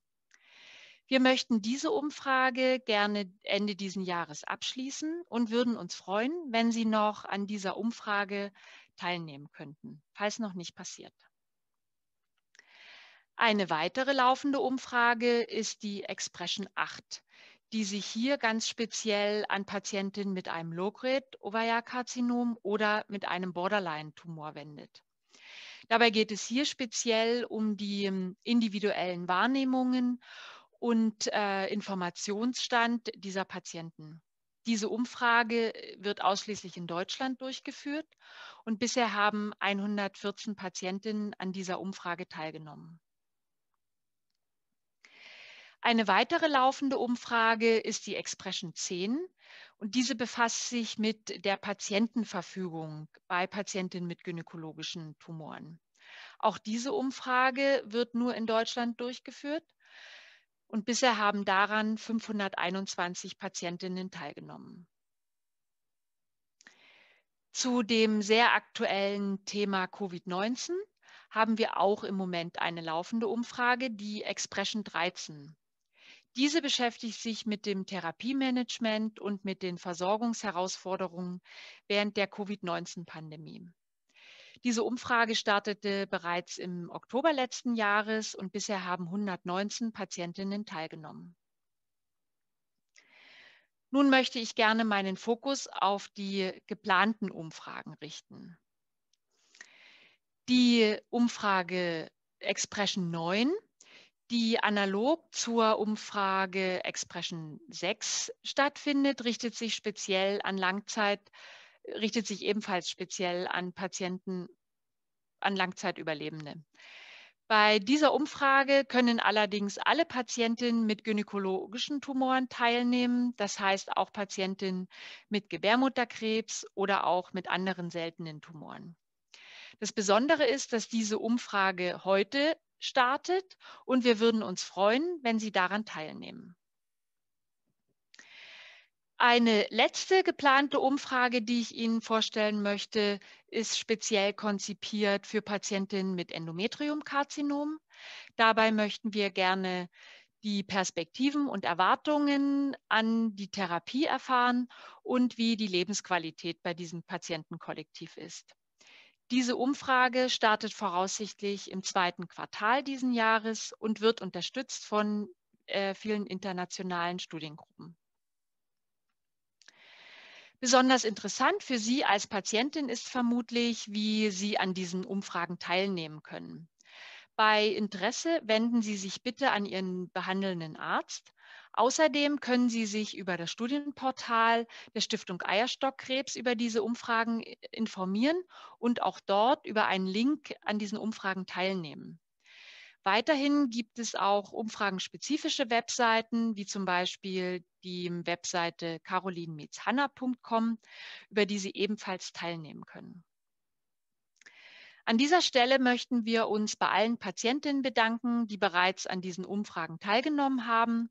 Gleichzeitig möchten wir Sie einladen, weiterhin an unseren Umfragen teilzunehmen, um uns mit Ihrer Stimme zu unterstützen und damit künftige Therapien und Behandlungen zu verbessern. Vielen Dank.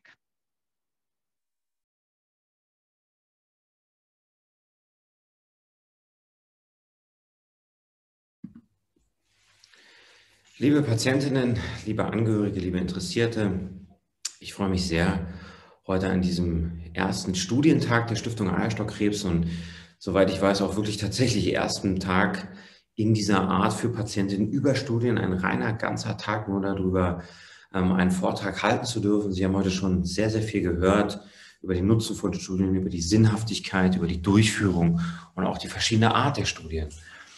Ich werde jetzt versuchen, Ihnen tatsächlich in Medias Res ganz konkret Studien vorzustellen zum Thema Eierstockkrebs, zum Thema Endometrium oder Gebärmutterkörperkrebs und auch zum Gebärmutterhalskrebs. Wir haben das 100-Sekunden-Format, deswegen werde ich hier auf meinem Telefon mir immer einen Timer stellen, um wirklich ganz prägnant und knapp Ihnen äh, Studien auswählen zu dürfen. Ich habe mich jetzt auf ähm, laufende Studien konzentriert an unserer Klinik, die von den großen Studiengruppen der NOGO und der AGO durchgeführt werden, mit ein bisschen dem Fokus auf den NOGO-Studien, die wir auch tatsächlich aktiv rekrutieren. Sie wissen mittlerweile genau, was das bedeutet. Sie sehen, wir haben ein breites Portfolio an laufenden Studien, jetzt Studien zum Beispiel jetzt hier beim Oberrealkarzinom, die haben auch immer so lustige Namen oder so interessante, sagen wir mal, Titel. Ähm, da stecken häufig Kombinationen aus den Wirkstoffen dahinter oder auch des Ablaufs der Studie ähm, oder auch der Studiengruppen. Hier sehen Sie zum Beispiel einmal das Wort INGOT, das ist also eine europäische große gynäkologisch-onkologische Studiengruppe. Aber deswegen geht auch jetzt schon der erste Timer los. Die erste Studie ist die sogenannte NGOT-OVA43-Studie, so nennen wir sie. Das ist eine Studie für Patientinnen mit primären Ovarialkarzinom. Also sie haben die Erstdiagnose Eierstock, Bauchfell oder Eileiterkrebs haben ihre Operation hinter sich und jetzt geht es tatsächlich darum, was ist die ideale ähm, Anschlusstherapie nach der Chemotherapie.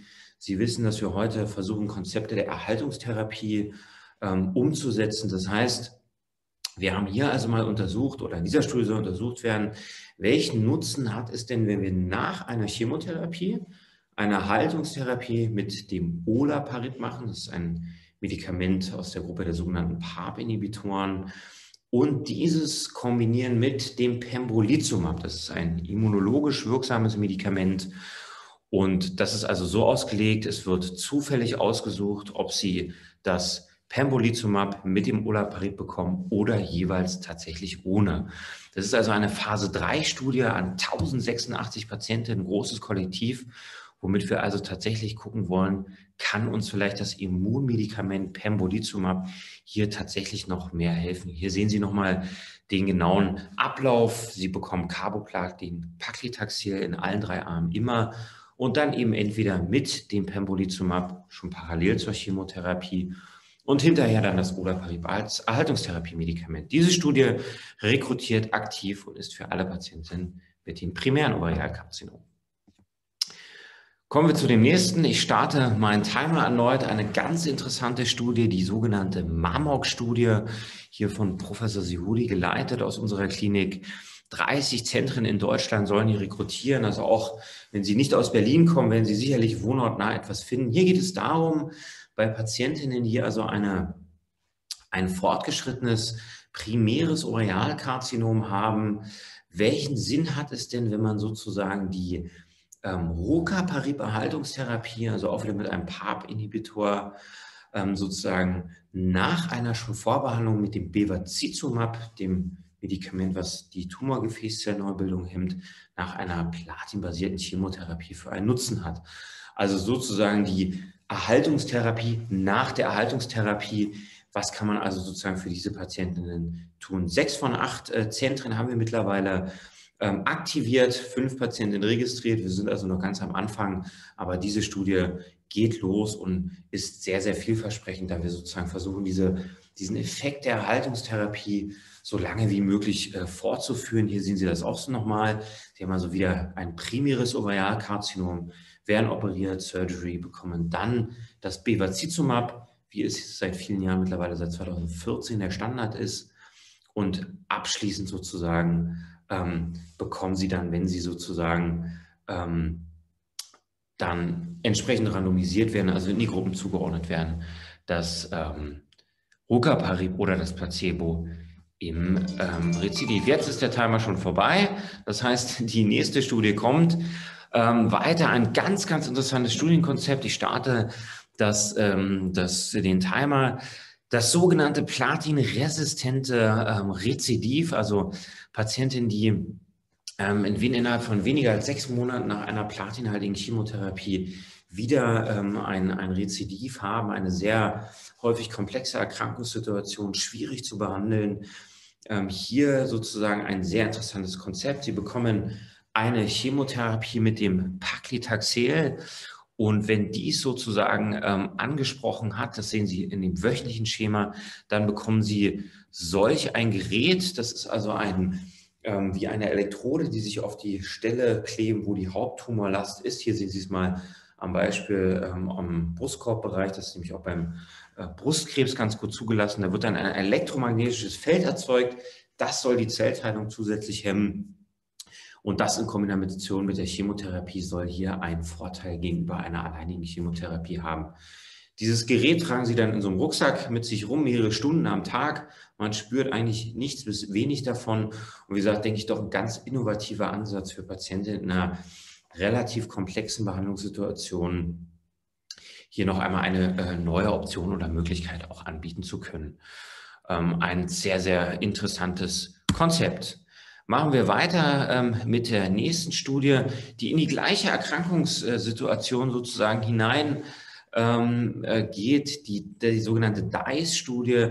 Hier geht es sozusagen wieder darum, wir haben Patienten mit ähm, einem vorbehandelten ähm, Ovarialkarzinom, Eierstock, Bauchfell oder ähm, Eileiterkrebs, die sozusagen auch platinresistent sind, also sozusagen die letzte platinhaltige Chemotherapie ist weniger ungefähr als sechs Monate äh, zurück. Da soll man sich nicht so genau auf, das, auf die sechs Monate konzentrieren. Und hier wird auch wieder sozusagen randomisiert. Sie bekommen entweder das wöchentliche Taxol, Paclitaxel oder Sie bekommen das wöchentliche Paclitaxel kombiniert mit dem sogenannten, mit einem sogenannten mTORC-Inhibitor. Das ist ein relativ auch neues Medikament, was in den Zellteilungszyklus eingreift und hier ähm, bereits in vorherigen Studien, Phase 1 und Phase 2 Studien schon sehr, sehr gute Ergebnisse gezeigt hat und hier sozusagen auch schauen soll. Sie sehen, die Patientenzahl ist relativ gering, 126 Patientinnen, weil wir hier eben sozusagen äh, gucken wollen, wie, ähm, wie in dieser doch besonderen Erkrankungssituation die Situation ist. Es gibt zehn aktive Zentren in England. Die Studie wird jetzt, wie gesagt, erweitert auf Deutschland. Und hier, auch hier haben wir schon fünf Patienten rekrutiert und sind in der Charité auch fleißig weiter dabei, hier Patienten zu gewinnen. Ein, wie gesagt, sehr, sehr innovatives Behandlungskonzept. Was sagt mein Timer? Fünf Sekunden. Das denke ich, eine ganz gute Zeit. Atmen wir nochmal ganz kurz durch, bevor es weitergeht. Ein etwas anderes Studienkonzept. Sie haben gerade gesehen, es gibt also Studien, die neue Medikamentenkombinationen untersuchen. Es gibt aber auch Studien wie diese und jetzt starte ich meine 100 Sekunden wieder. Das ist eine sogenannte Registerstudie. Das heißt, Sie bekommen ein Medikament, sind also sozusagen unter Therapie mit einem auch offiziell zugelassenen Medikament und ähm, werden aber in einer Registerstudie sozusagen registriert. In diesem Fall geht es um das Niraparib. Sie bekommen das also im platinsensiblen Rezidiv und Sie werden sozusagen in diese Studie eingeschlossen und da geht es wirklich darum, dass wir Real-Life-Data gewinnen. Sie kennen vielleicht die Diskussion auch von den Impfstudien. Wir haben also Zulassungsstudien, die uns die Impfung beispielsweise gegen Covid-19 ermöglichen. Aber wir wollen trotzdem wissen, wie ist es denn im echten Leben und was passiert wirklich sozusagen unter realen Bedingungen. Und das ist eine Studie, die an zwölf Zentren durchgeführt äh, wird, aktuell acht Patienten eingeschlossen. Kommen wir zu einer weiteren Studie, nachdem ich hier etwas weniger gesprochen habe, würde ich hier etwas weiter ausholen. Das ist die sogenannte AGO-OVA 229-Studie, also eine Studie der ähm, AGO, auch hier wieder in der ähm, schwierigen Situation des platinresistenten Ovarialkarzinom Rezidiv. Sie sehen auf der linken Seite, welche Patientinnen hier eingeschlossen werden können. Das sind also in der Mehrzahl Patientinnen ähm, in der ersten oder zweiten Therapielinie mit einem TFIP, also das ist das therapiefreie Intervall ohne Platin, ungefähr weniger als sechs Monate ähm, hier eingeschlossen worden sind. Und hier ist die Kombination oder die Idee dahinter, dass wir versuchen, die Kombination aus dem Paclitaxel mit dem Bevacizumab, diesen Tumorgefäßblockade-Inhibitor zu untersuchen mit einem sogenannten Checkpoint-Inhibitor. Checkpoint-Inhibitoren ist eine sehr, sehr vielversprechende Medikamentenklasse. Das äh, müssen Sie sich so vorstellen, die Tumorzelle tarnt sich vor ihrem eigenen Immunsystem, zum Beispiel auch ähnlich bei einer Schwangerschaft, um eben nicht vom eigenen Immunsystem als krank erkannt zu werden und bekämpft zu werden. Und diese Checkpoint-Inhibitoren lösen sozusagen diesen Tarnungsmechanismus auf und machen das äh, wieder möglich, dass ihr eigenes Immunsystem den Krebs mit therapiert. Und eines dieser Medikamente ist das Atezolizumab, in vorherigen Studien auch schon gute Wirksamkeit. Und hier, wie gesagt, bekommen Sie auch eine, äh, entweder sozusagen das Paclitaxel plus Bevacizumab oder Sie bekommen Paclitaxel, Bevacizumab und das Atezolizumab. Bisschen besonders ist, dass wir sozusagen ähm, immer noch mal Timer ist vorbei, aber ich kann noch etwas Zeit aufholen. Immer noch mal neues Gewebe benötigen, ähm, um hier tatsächlich noch mal bestimmte Marker ähm, im Blut zu testen.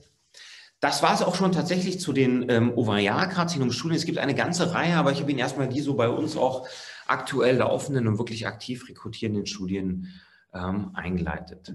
Kommen wir zum Cervixkarzinom. Beim Gebärmutterhalskrebs reden wir von einer Erkrankung, die ähm, glücklicherweise immer seltener wird aufgrund zunehmender Verbesserungen in der auch Früherkennung. Das Früherkennungssystem in Deutschland wurde ja in den 60er Jahren eingeführt. Wir haben aber jetzt schon seit ja, mehr als mindestens 15 Jahren eine Impfung gegen HPV und auch damit sinkt die Inzidenz immer weiter. Nichtsdestotrotz ist es trotzdem noch eine häufige Krebserkrankung, die ähm, früh erkannt wird, gut therapiert werden kann, aber es gibt auch Therapiesituationen bei fortgeschrittenen Cervixkarzinomen, die nicht mehr operiert oder strahlentherapiert werden können oder eben auch Cervixkarzinom, also Gebärmutterhalskrebsvarianten, die zurückkommen. Und das ist eine Studie, die sogenannte NGOT Cervix 11 Studie, also eine auch große Studie, die 980 Patienten einschließen soll, eine Phase 3 Studie, die auch wieder placebo kontrolliert ist. Hier sollen Patientinnen untersucht werden, die eine fortgeschrittene ähm, Gebärmutterhalskrebserkrankung haben, die also nicht geeignet sind für eine primäre Operation und auch nicht geeignet sind für eine ähm, äh, Strahlentherapie.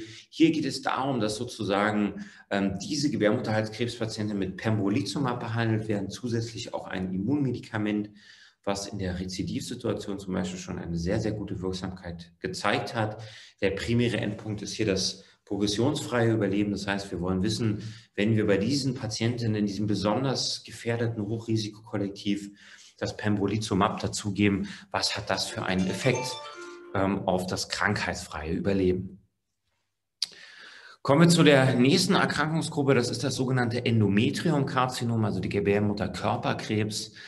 Ähm, hier haben wir auch zwei sehr, sehr gute Studien im Portfolio, die ich Ihnen gerne ähm, anbieten möchte oder zeigen möchte. Das ist einmal die sogenannte Siendo-Studie, auch wieder eine Studie der ENGOT-Gruppe, also der europäischen, einer europäischen Studiengruppe, mit der wir auch, in die wir in, äh, in der NOGO sehr, sehr intensiv ähm, eingebunden sind.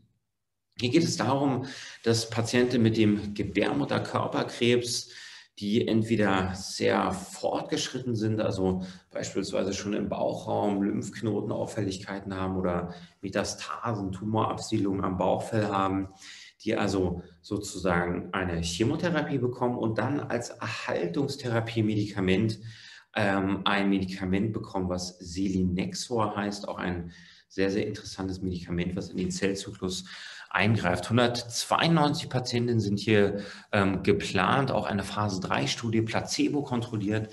Sie erhalten sozusagen wieder das Medikament, entweder dieses Selinexor oder eben sozusagen ähm, das Placebo.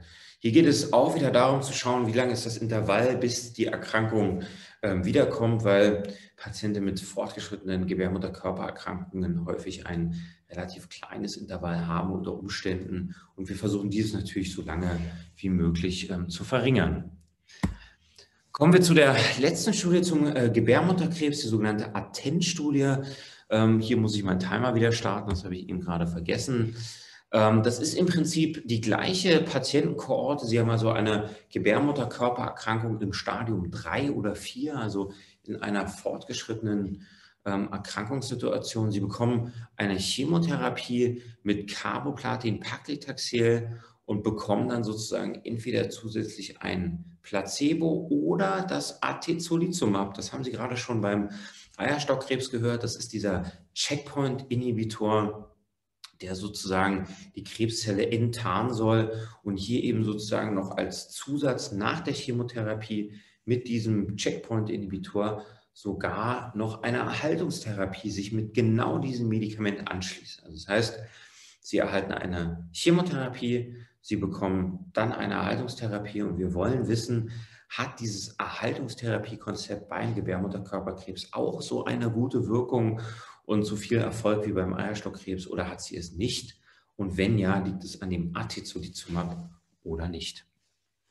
Vielen Dank. Das war's äh, von meiner Seite. 100 Sekunden Hot Topics. 20 Sekunden habe ich hier noch ähm, auf meinem Timer. Ich hoffe sehr, dass Sie ein bisschen was mitnehmen konnten. Falls nicht, ist es auch überhaupt nicht schlimm, denn wir haben, wie Sie bestimmt heute auch schon öfter gehört haben, ja ein Studienportal mit der Stiftung Eierstockkrebs ins Leben gerufen, wo wir ähm, Studien zusammengefasst haben. Bisher nur zum Ovarialkarzinom, zum Eierstockkrebs, aber das soll auch auf andere Tumorentitäten erweitert werden. Und ich freue mich jetzt sehr, ähm, an den Professor Blomer weiterzugeben, der Ihnen in einem ähnlichen Format die Studien zum Mammakarzinom vorstellen wird. Und auch nochmal von meiner Seite, ähm, bleiben Sie gesund, kommen Sie gut durch diese Zeit. Und wie gesagt, unser Interesse ist es immer, Sie auch in dieser Zeit weiter gut zu behandeln. Deswegen freuen wir uns, dass wir hier so einen interaktiven Austausch mit Ihnen haben können. Vielen, vielen Dank. Die NOGO ist eine große Fortbildungsorganisation und ein großes, eine große Studienorganisation, die sich auch mit Studien zum Mammakarzinom beschäftigt. In der Vergangenheit haben wir Studien zum fortgeschrittenen Mammakarzinom durchgeführt zur Etablierung neuer Substanzen, aber auch operative Studien, die neue Materialien eingeführt haben in der Brustrekonstruktion nach Brustentfernung.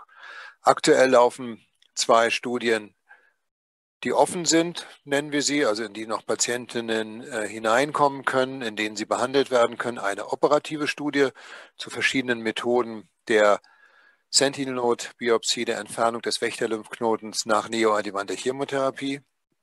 Eine zweite Studie zur Wertigkeit des Genexpressionstests Endopredict. Das ist ein Test, der uns die Notwendigkeit einer Chemotherapie zusätzlich zur Hormontherapie vorhersagen soll. Beide Studien laufen gut. An allen beiden Studien können bei bestimmten Voraussetzungen noch viele Patientinnen eingebracht werden. Wir arbeiten an neuen Konzepten und haben darüber hinaus natürlich in den Kliniken, in denen wir beschäftigt sind, weitere Studien zu eigentlich allen, wir sagen dazu Indikationen, zu allen Therapiemöglichkeiten beim Mammakarzinom, beginnend von der frühen Diagnostik über die operative Therapie bis zu Nachsorgestudien, die auch die Lebensqualität mit einbeziehen und bis zu Studien des weit fortgeschrittenen Mammakarzinoms anzubieten. Da fordere ich Sie auf, in Ihre Brustzentren zu gehen, dort ganz aktiv nach offenen Studien und nach Studienteilnahmen zu fragen, weil wir wissen, dass die Behandlungsergebnisse für Patientinnen innerhalb von Studien sehr viel besser sind als außerhalb. Vielen Dank. Ja, vielen Dank. Möchten wir auch erstmal sagen an dieser Stelle, äh, diese Veranstaltung und die Fülle an Informationen wäre natürlich nicht, äh, nicht denkbar gewesen ohne die Unterstützung unserer Partner. Das heißt, äh, die äh, Nogo ist ja unser Hauptpartner und hat diese Veranstaltung gemeinsam organisiert. Ähm, sowohl die Charité als auch eben die beiden ähm, Selbsthilfeorganisationen in Deutschland mit der Stiftung Eierstockkrebs zusammen, aber natürlich auch unsere Sponsoren direkt, die äh, das unterstützt haben. Das sind eben AstraZeneca, Eisheim, GSK, MSD und Novocur. An dieser Stelle vielen, vielen Dank. Jetzt geht es weiter mit unserem letzten Beitrag für heute zum Thema klinische Studien als Telegramm von Frau Professor Breiko. Nun zum Schluss ein kurzer Bericht oder Zusammenfassung, was wichtig ist aus der Klinik und aus der Forschung. Ich habe Ihnen gesagt, äh, Gebärmutterkrebs lässt sich gut mit Immuntherapien behandeln. Und äh, hier haben wir die zwei Tumoren ähm, oder zwei Sorten von Tumoren. Einmal warme Tumoren hier oben. Das sind die Tumoren, wo die Immunzellen auch dabei sind, aber inaktiviert. Und dann sozusagen die kalte Tumoren, wo etwas schwieriger ist, die zu behandeln, wo wir müssen immer wahrscheinlich die Immuntherapie kombinieren. Ähm, ich habe auch Ihnen gezeigt, wahrscheinlich schon vergessen, Dostalimac war eine der Präparate oder der Immuntherapien, wo wir auch bald die Zulassung erwarten von EMA. Ähm, bis dorthin, wahrscheinlich April oder spätestens Sommer dieses Jahr, äh, die Firma äh, stellt Dostalimac im Rahmen eines Compassionate Use Programmes vor, vor der Zulassung durch die EMA zur Verfügung. Äh, in diesem Programm können eigentlich ähm, Patientinnen eingeschlossen werden, die einen rezidivierten oder fortgeschrittenen Endometriumkarzinom haben, also Gebärmutterkrebs haben. Patientinnen, die mindestens zwei Vortherapien bekommen haben, Patientinnen, die eine gewisse äh, Veränderungen in die Mutation, in die Tumorgewebe aufweisen, also diese Mikrosatelliteninstabilität. Und natürlich Patienten, die entweder während oder nach Carboplatin ähm, ein Rezidiv entwickelt haben. Ähm, dafür bitte entweder kommen Sie in die Charité, wo dieses Programm gerade läuft und zwei Patienten eingeschlossen haben, ob wir dann nochmal ganz gezielt Ihrem Arzt äh, darüber fragen, ob Sie überhaupt in dieses Programm äh, passen, ob Ihre oder ob Ihre Tumor sozusagen äh, diese Mutation aufweist oder diese Veränderungen aufweist ähm, und dann wie Sie an diesem Medikament ähm, ankommen. Äh, Professor Seuli hat Ihnen gesagt, wir haben Neuigkeiten beim Eierstockkrebs, wir haben neue Zulassungen für die, für die erste Linie, das sind Erhaltungstherapien für die erste Linie. Wir haben äh, zwei von der PARP-Inhibitoren werden zugelassen als Erhaltungstherapie nach der äh, First Line, nach der ersten Linie Chemotherapie. Das ist Niraparib, unabhängig von äh, BRCA-Status, unabhängig von welcher Tumor äh, die Patienten haben, also von der Tumorgenetik, sagen wir mal so. Äh, Olaparib ist zugelassen als Monotherapie nur bei Patienten, die eine BRCA-Mutation aufweisen und äh, ist zugelassen in Kombination mit Bevacizumab. Die meisten von Ihnen kennen das schon, äh, nur bei Patienten, die entweder BRCA-Mutation haben oder HRD-positiv sind. HRD-positiv bedeutet, diese, äh, diese Patienten oder diese Tumoren haben andere Veränderungen in die DNA-Reparaturwege. Das ist für sie immer ein bisschen schwieriger zu verstehen. Aber jetzt, wenn wir ein Chromosom sehen, wir haben immer sozusagen zwei Arme. Das bedeutet, dass hier eine Gen zum Beispiel dominant wird, die wir entweder vom Vater, entweder vom Mutter ähm, vererbt haben. Ähm, dann es gibt diese andere, äh, zum Beispiel andere Veränderungen, wo ein Chromosom kleiner ist als der, äh, als der ähm, zweit, als der zweite sozusagen und gibt es natürlich große Umlagerungen zwischen ähm, äh, DNA-Stränge. Ähm, äh, und das, all, all diese drei werden in einer Untersuchung oder in einer, einen Score untersucht und wenn dieses Score einen bestimmten Wert hat, darf man sozusagen mit der Kombination Olaparib und Bevacizumab behandelt werden. Diese, ähm, diese Test ist auch zur Verfügung oder gibt es äh, auch in Deutschland.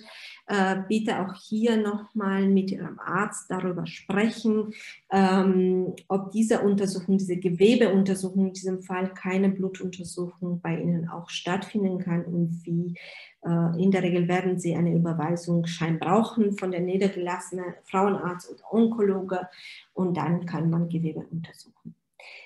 Äh, Gewebe kann man untersuchen, nicht nur in Primärsituationen. Hier ist ein Projekt, das wir gemeinsam mit der Klinik Essen Mitte haben, äh, wo wir praktisch alle Patienten mit Eierstockkrebs rezidiv äh, deren Gewebe untersuchen können ähm, auf mehr als 500 Gene.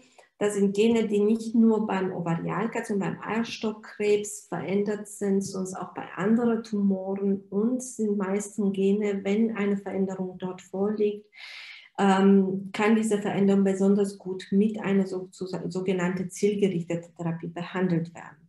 Man findet nicht immer, das muss man ganz äh, von, äh, von Anfang an äh, klar sagen, man findet beim Eierstockkrebs nicht immer eine Genmutation, die natürlich gut therapiert sein kann.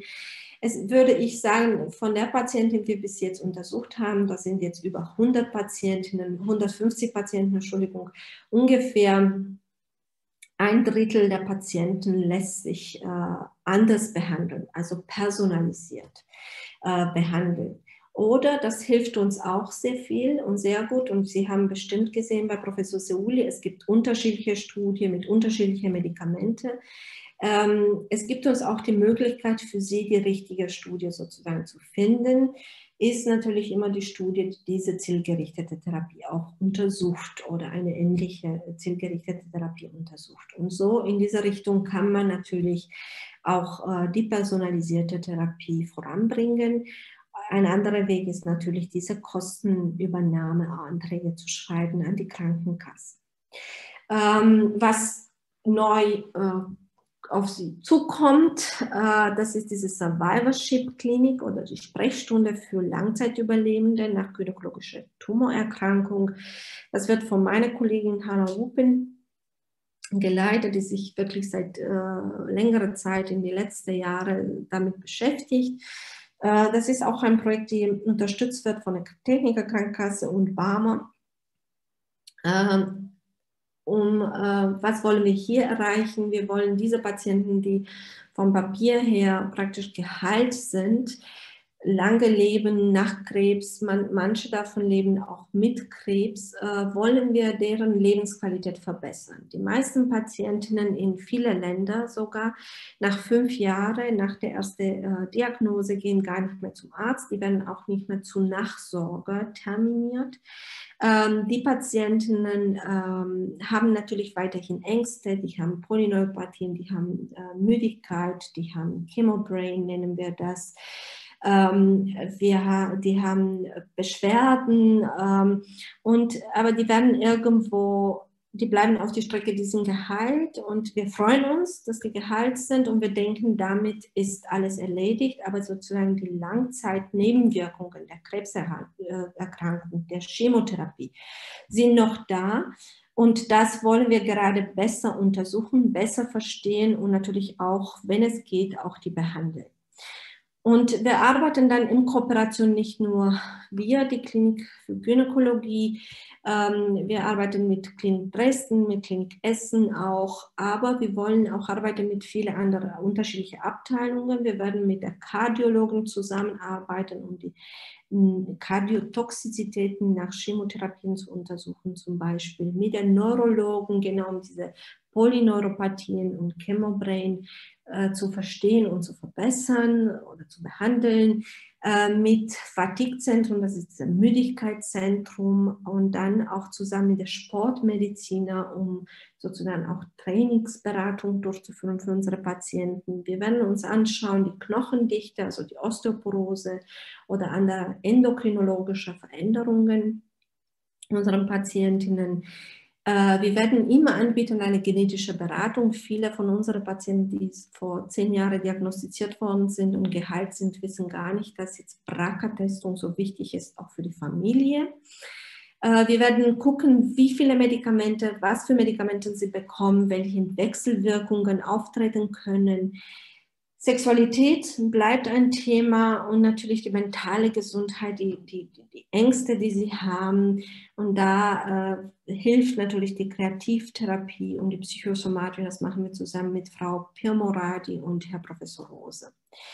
Und äh, damit, ich glaube, Telegram war lang genug. Ich bedanke mich.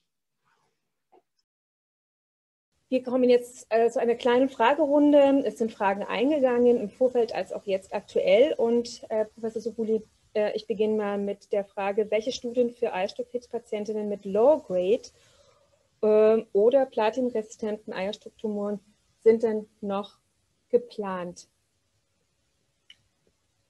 Also ganz ähm, wichtig ist, dass die Patienten mit Eierstockkrebs eben eine Erhaltungstherapie brauchen.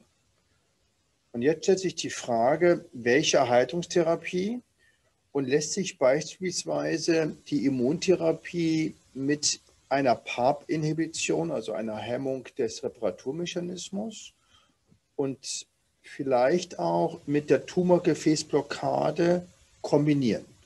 Und das sind so die Studien, die gerade laufen.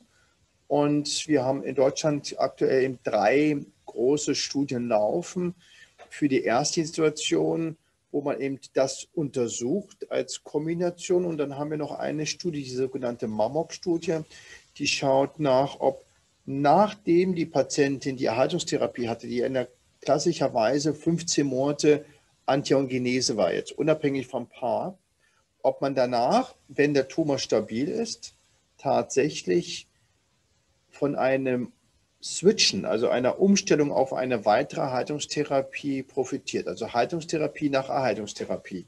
Die MAMOC-Studie ist ja auch auf unserem Studienportal ähm, integriert. Können Sie gerne nochmal nachschauen. Die zweite Frage geht in Richtung äh, Trametin, äh, Entschuldigung, äh, zeigt ja gerade bei Local-Patientinnen in einer kleinen Studie erste Erfolge.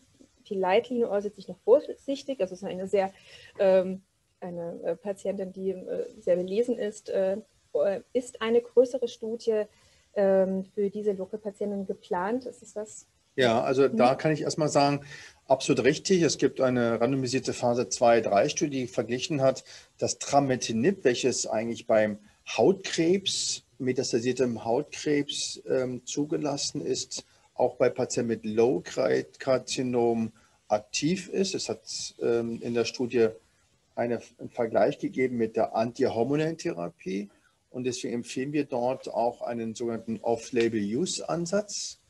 Und ähm, da werden größere Studien geplant. Und auch eine gute Nachricht, in Kürze wird auch ähm, von der NOCO an der Charité eine erste Studie zur Immuntherapie beim. Low-Grade-Karzinom gestartet. Und ähm, vorerst eine letzte Frage zum Thema granuloser Zelltumor ähm, oder andere seltene Tumore, die wir auch vorgestellt haben.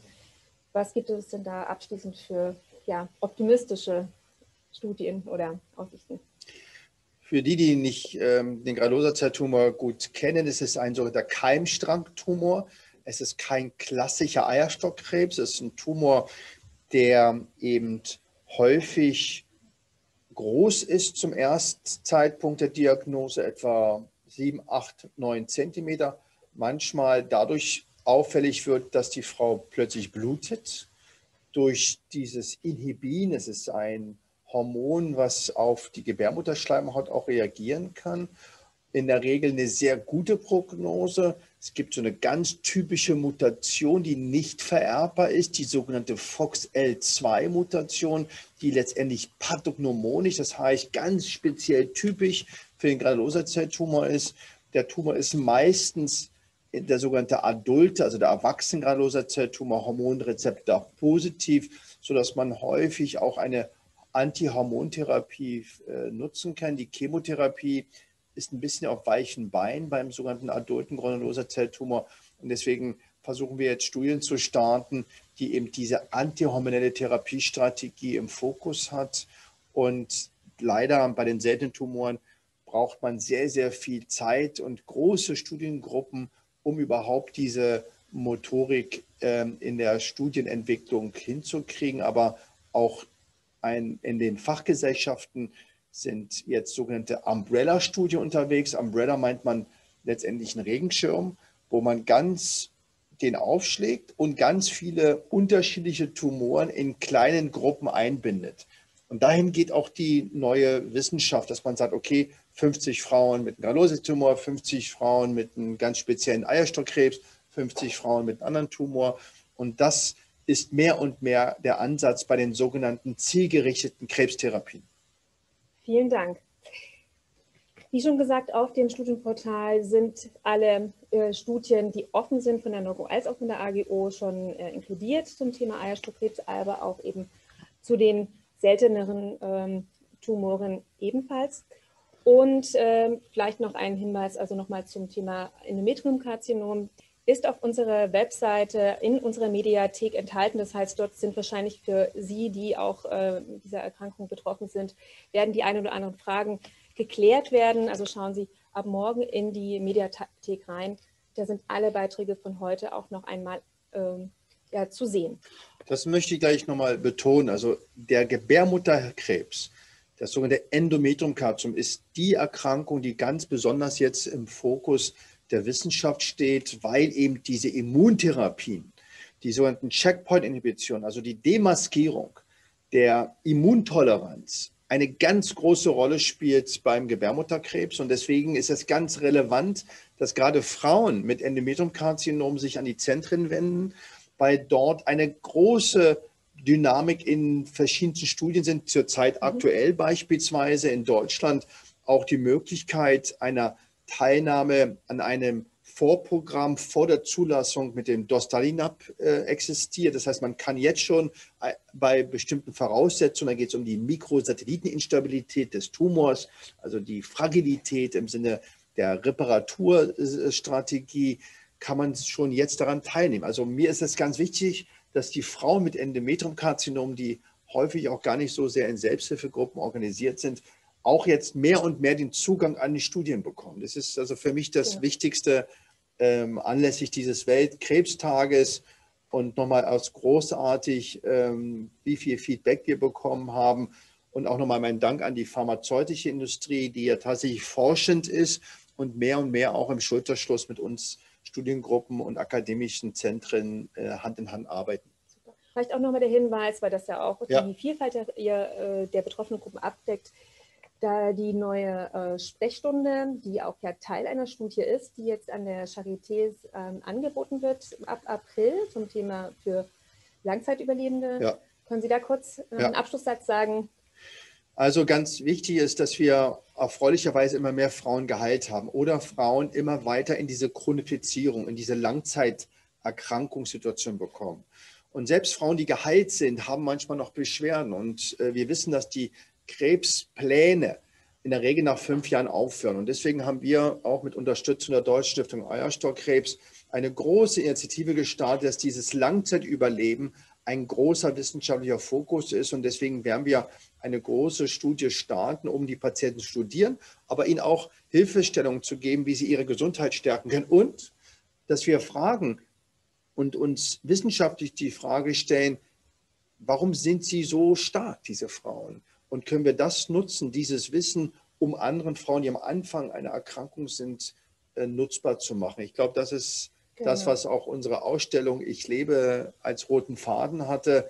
Und das macht Mut, das macht stark. Und das ist, glaube ich, Credo, das Credo auch der Deutschen Stiftung Eierstockkrebs, dass wir auch diese Persönlichkeit, auch diese Geschichten, diese Schicksale und auch diese Kräfte dieser Frauen sichtbar machen. Auch das ist Wissenschaft. Wissenschaft ist nicht nur knallharte Studienlage, sondern auch Erfahrung teilen. Also ist auch die Erfahrung einer Patientin für die andere Teil der Medizin. Liebe Zuschauerinnen, vor allem liebe Patientinnen, wir sagen vielen, vielen Dank, äh, dass Sie wirklich diese zwei Stunden mit uns verbracht haben. Es sind auch noch Fragen in unserem Chat eingetroffen. Wir werden diese Fragen äh, beantworten. Wir werden da wahrscheinlich noch ein kleines Video dazu drehen. Also das haben wir sehr wohl wahrgenommen und wir möchten an der Stelle Sie auch nicht enttäuschen, sondern diese Fragen auch noch beantworten. Jetzt ist die Zeit erstmal äh, vorüber. Äh, wir sagen äh, nochmal vielen Dank. Bleiben Sie uns äh, treu und gewogen und auch vielen Dank trotz dessen für die äh, positiven Feedbacks, die wir erhalten haben. Ähm, ja, und wir sehen uns bald äh, im Mai wieder im gleichen Format zum Welt-Eierstockkrebstag, der 9. Mai. Bitte schon mal im Kalender eintragen. Bis bald.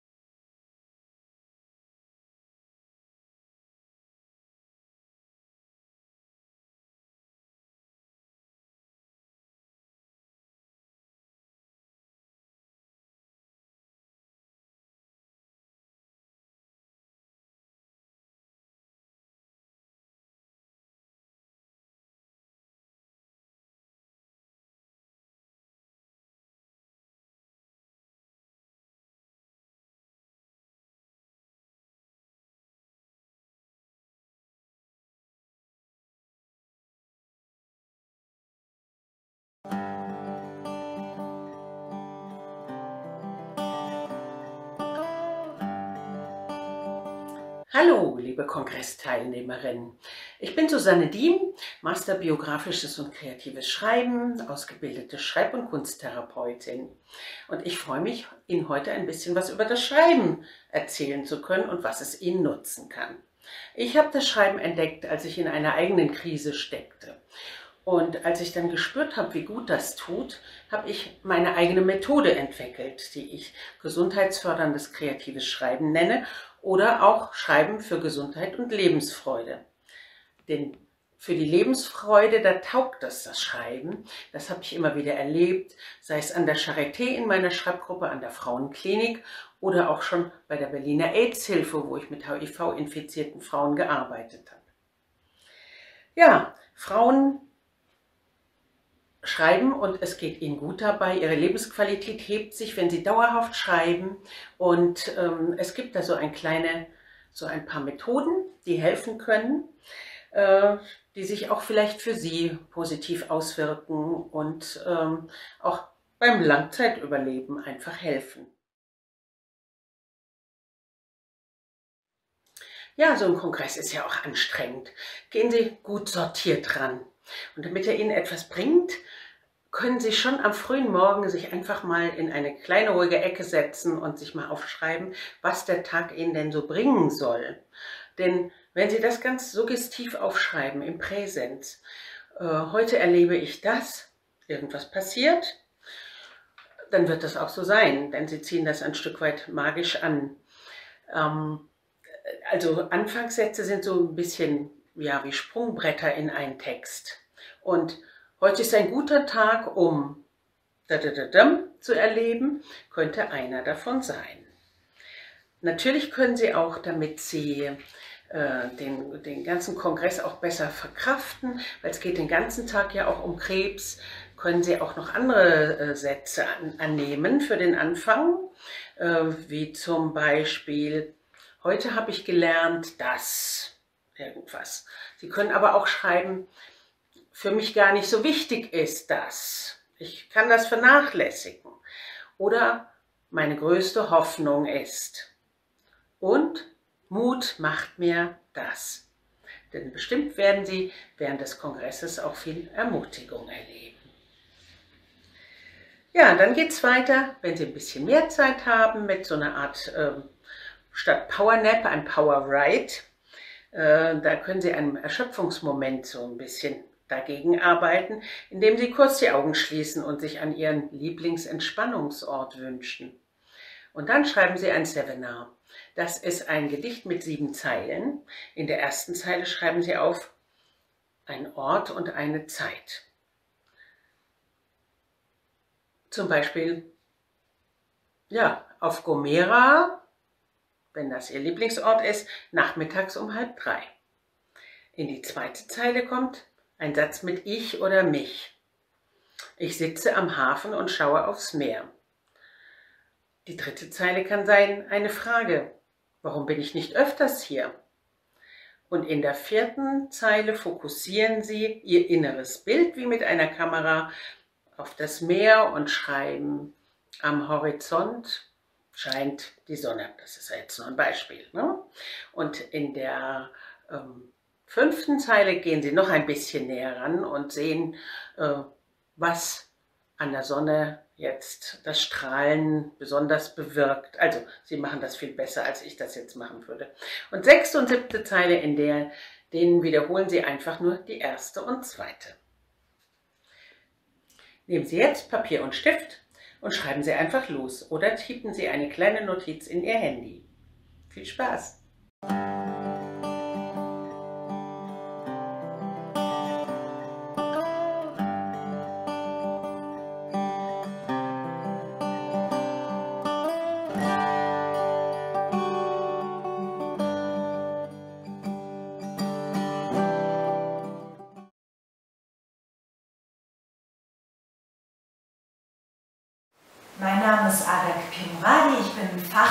Fachärztin für psychosomatische Medizin und ich freue mich sehr, dass ich hier im Rahmen des Projektes der Stiftung auch involviert sein kann, um den Patientinnen, den Angehörigen und allen Interessierten einen Eindruck auch von unserer oder meiner Arbeit zu geben.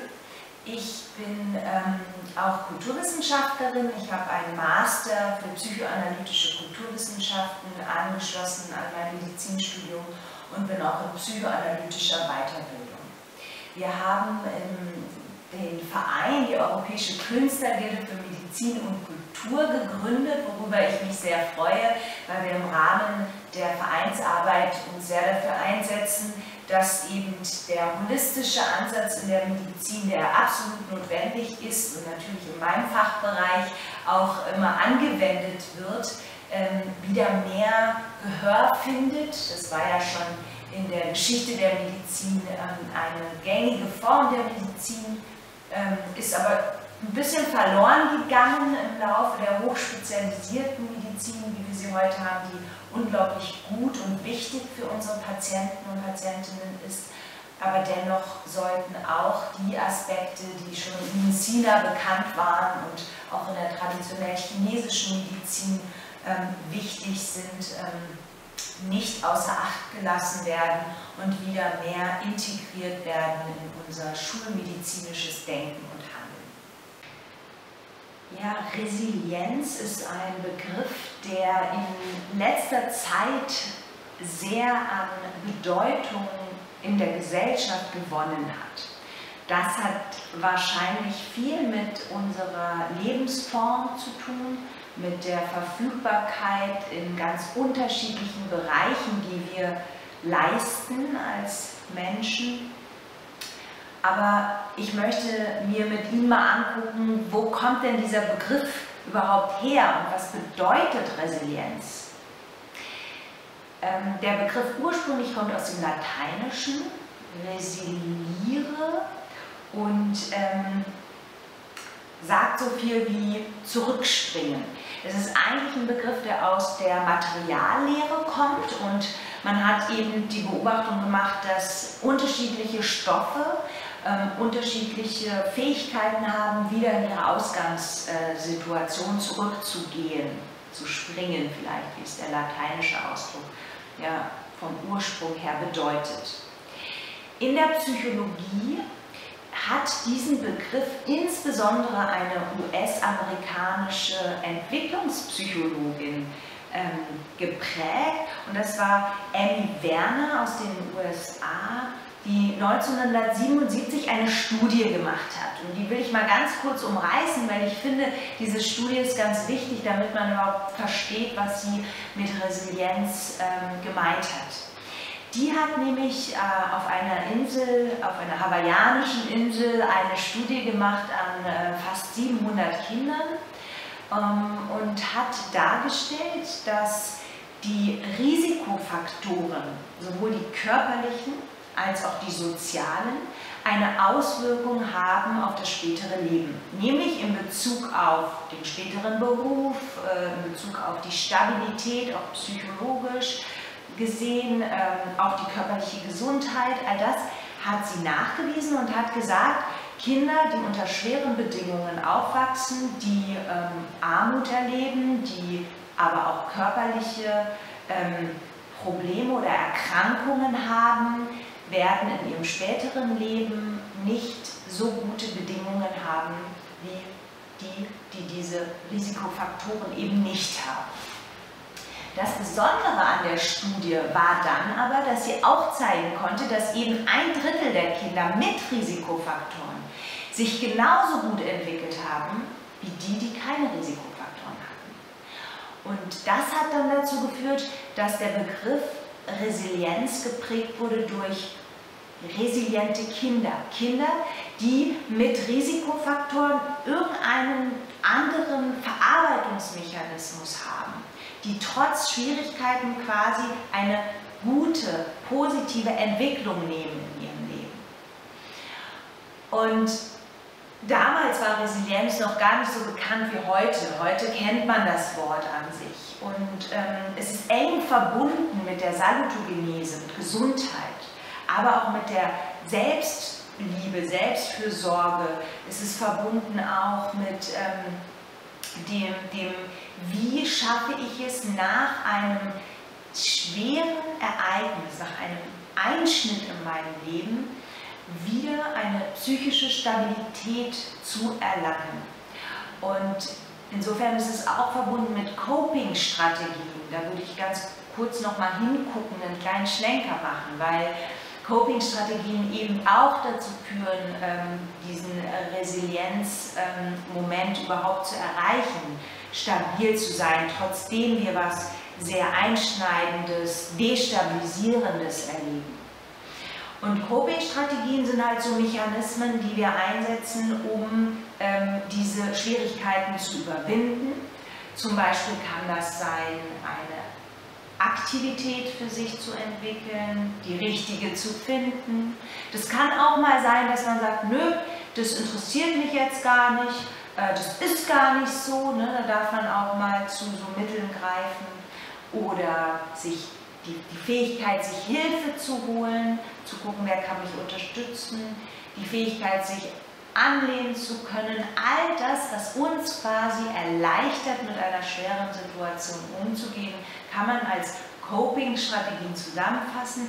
Wichtig ist, dass Coping-Strategien immer bewusst sind. Ja, hiermit bilden sie einen Gegensatz zu den Abwehrmechanismen, die dann in der Psychotherapie wichtig werden, die ja unbewusst ablaufen und die wir nicht so ohne weiteres einsetzen oder benutzen können. Die Abwehrmechanismen müssen erstmal gesucht und aufgedeckt werden ähm, und können letztlich ja dann auch in der Folge zu ähm, Schwierigkeiten führen oder neurotischem Verhalten. Aber das ist erstmal klar zu trennen von den Coping-Strategien, die wiederum eng verbunden sind auch mit der Resilienz, um die es ja heute geht und wo ich hoffe, dass jetzt ein etwas ähm, klareres Bild ähm, dazu entstehen konnte.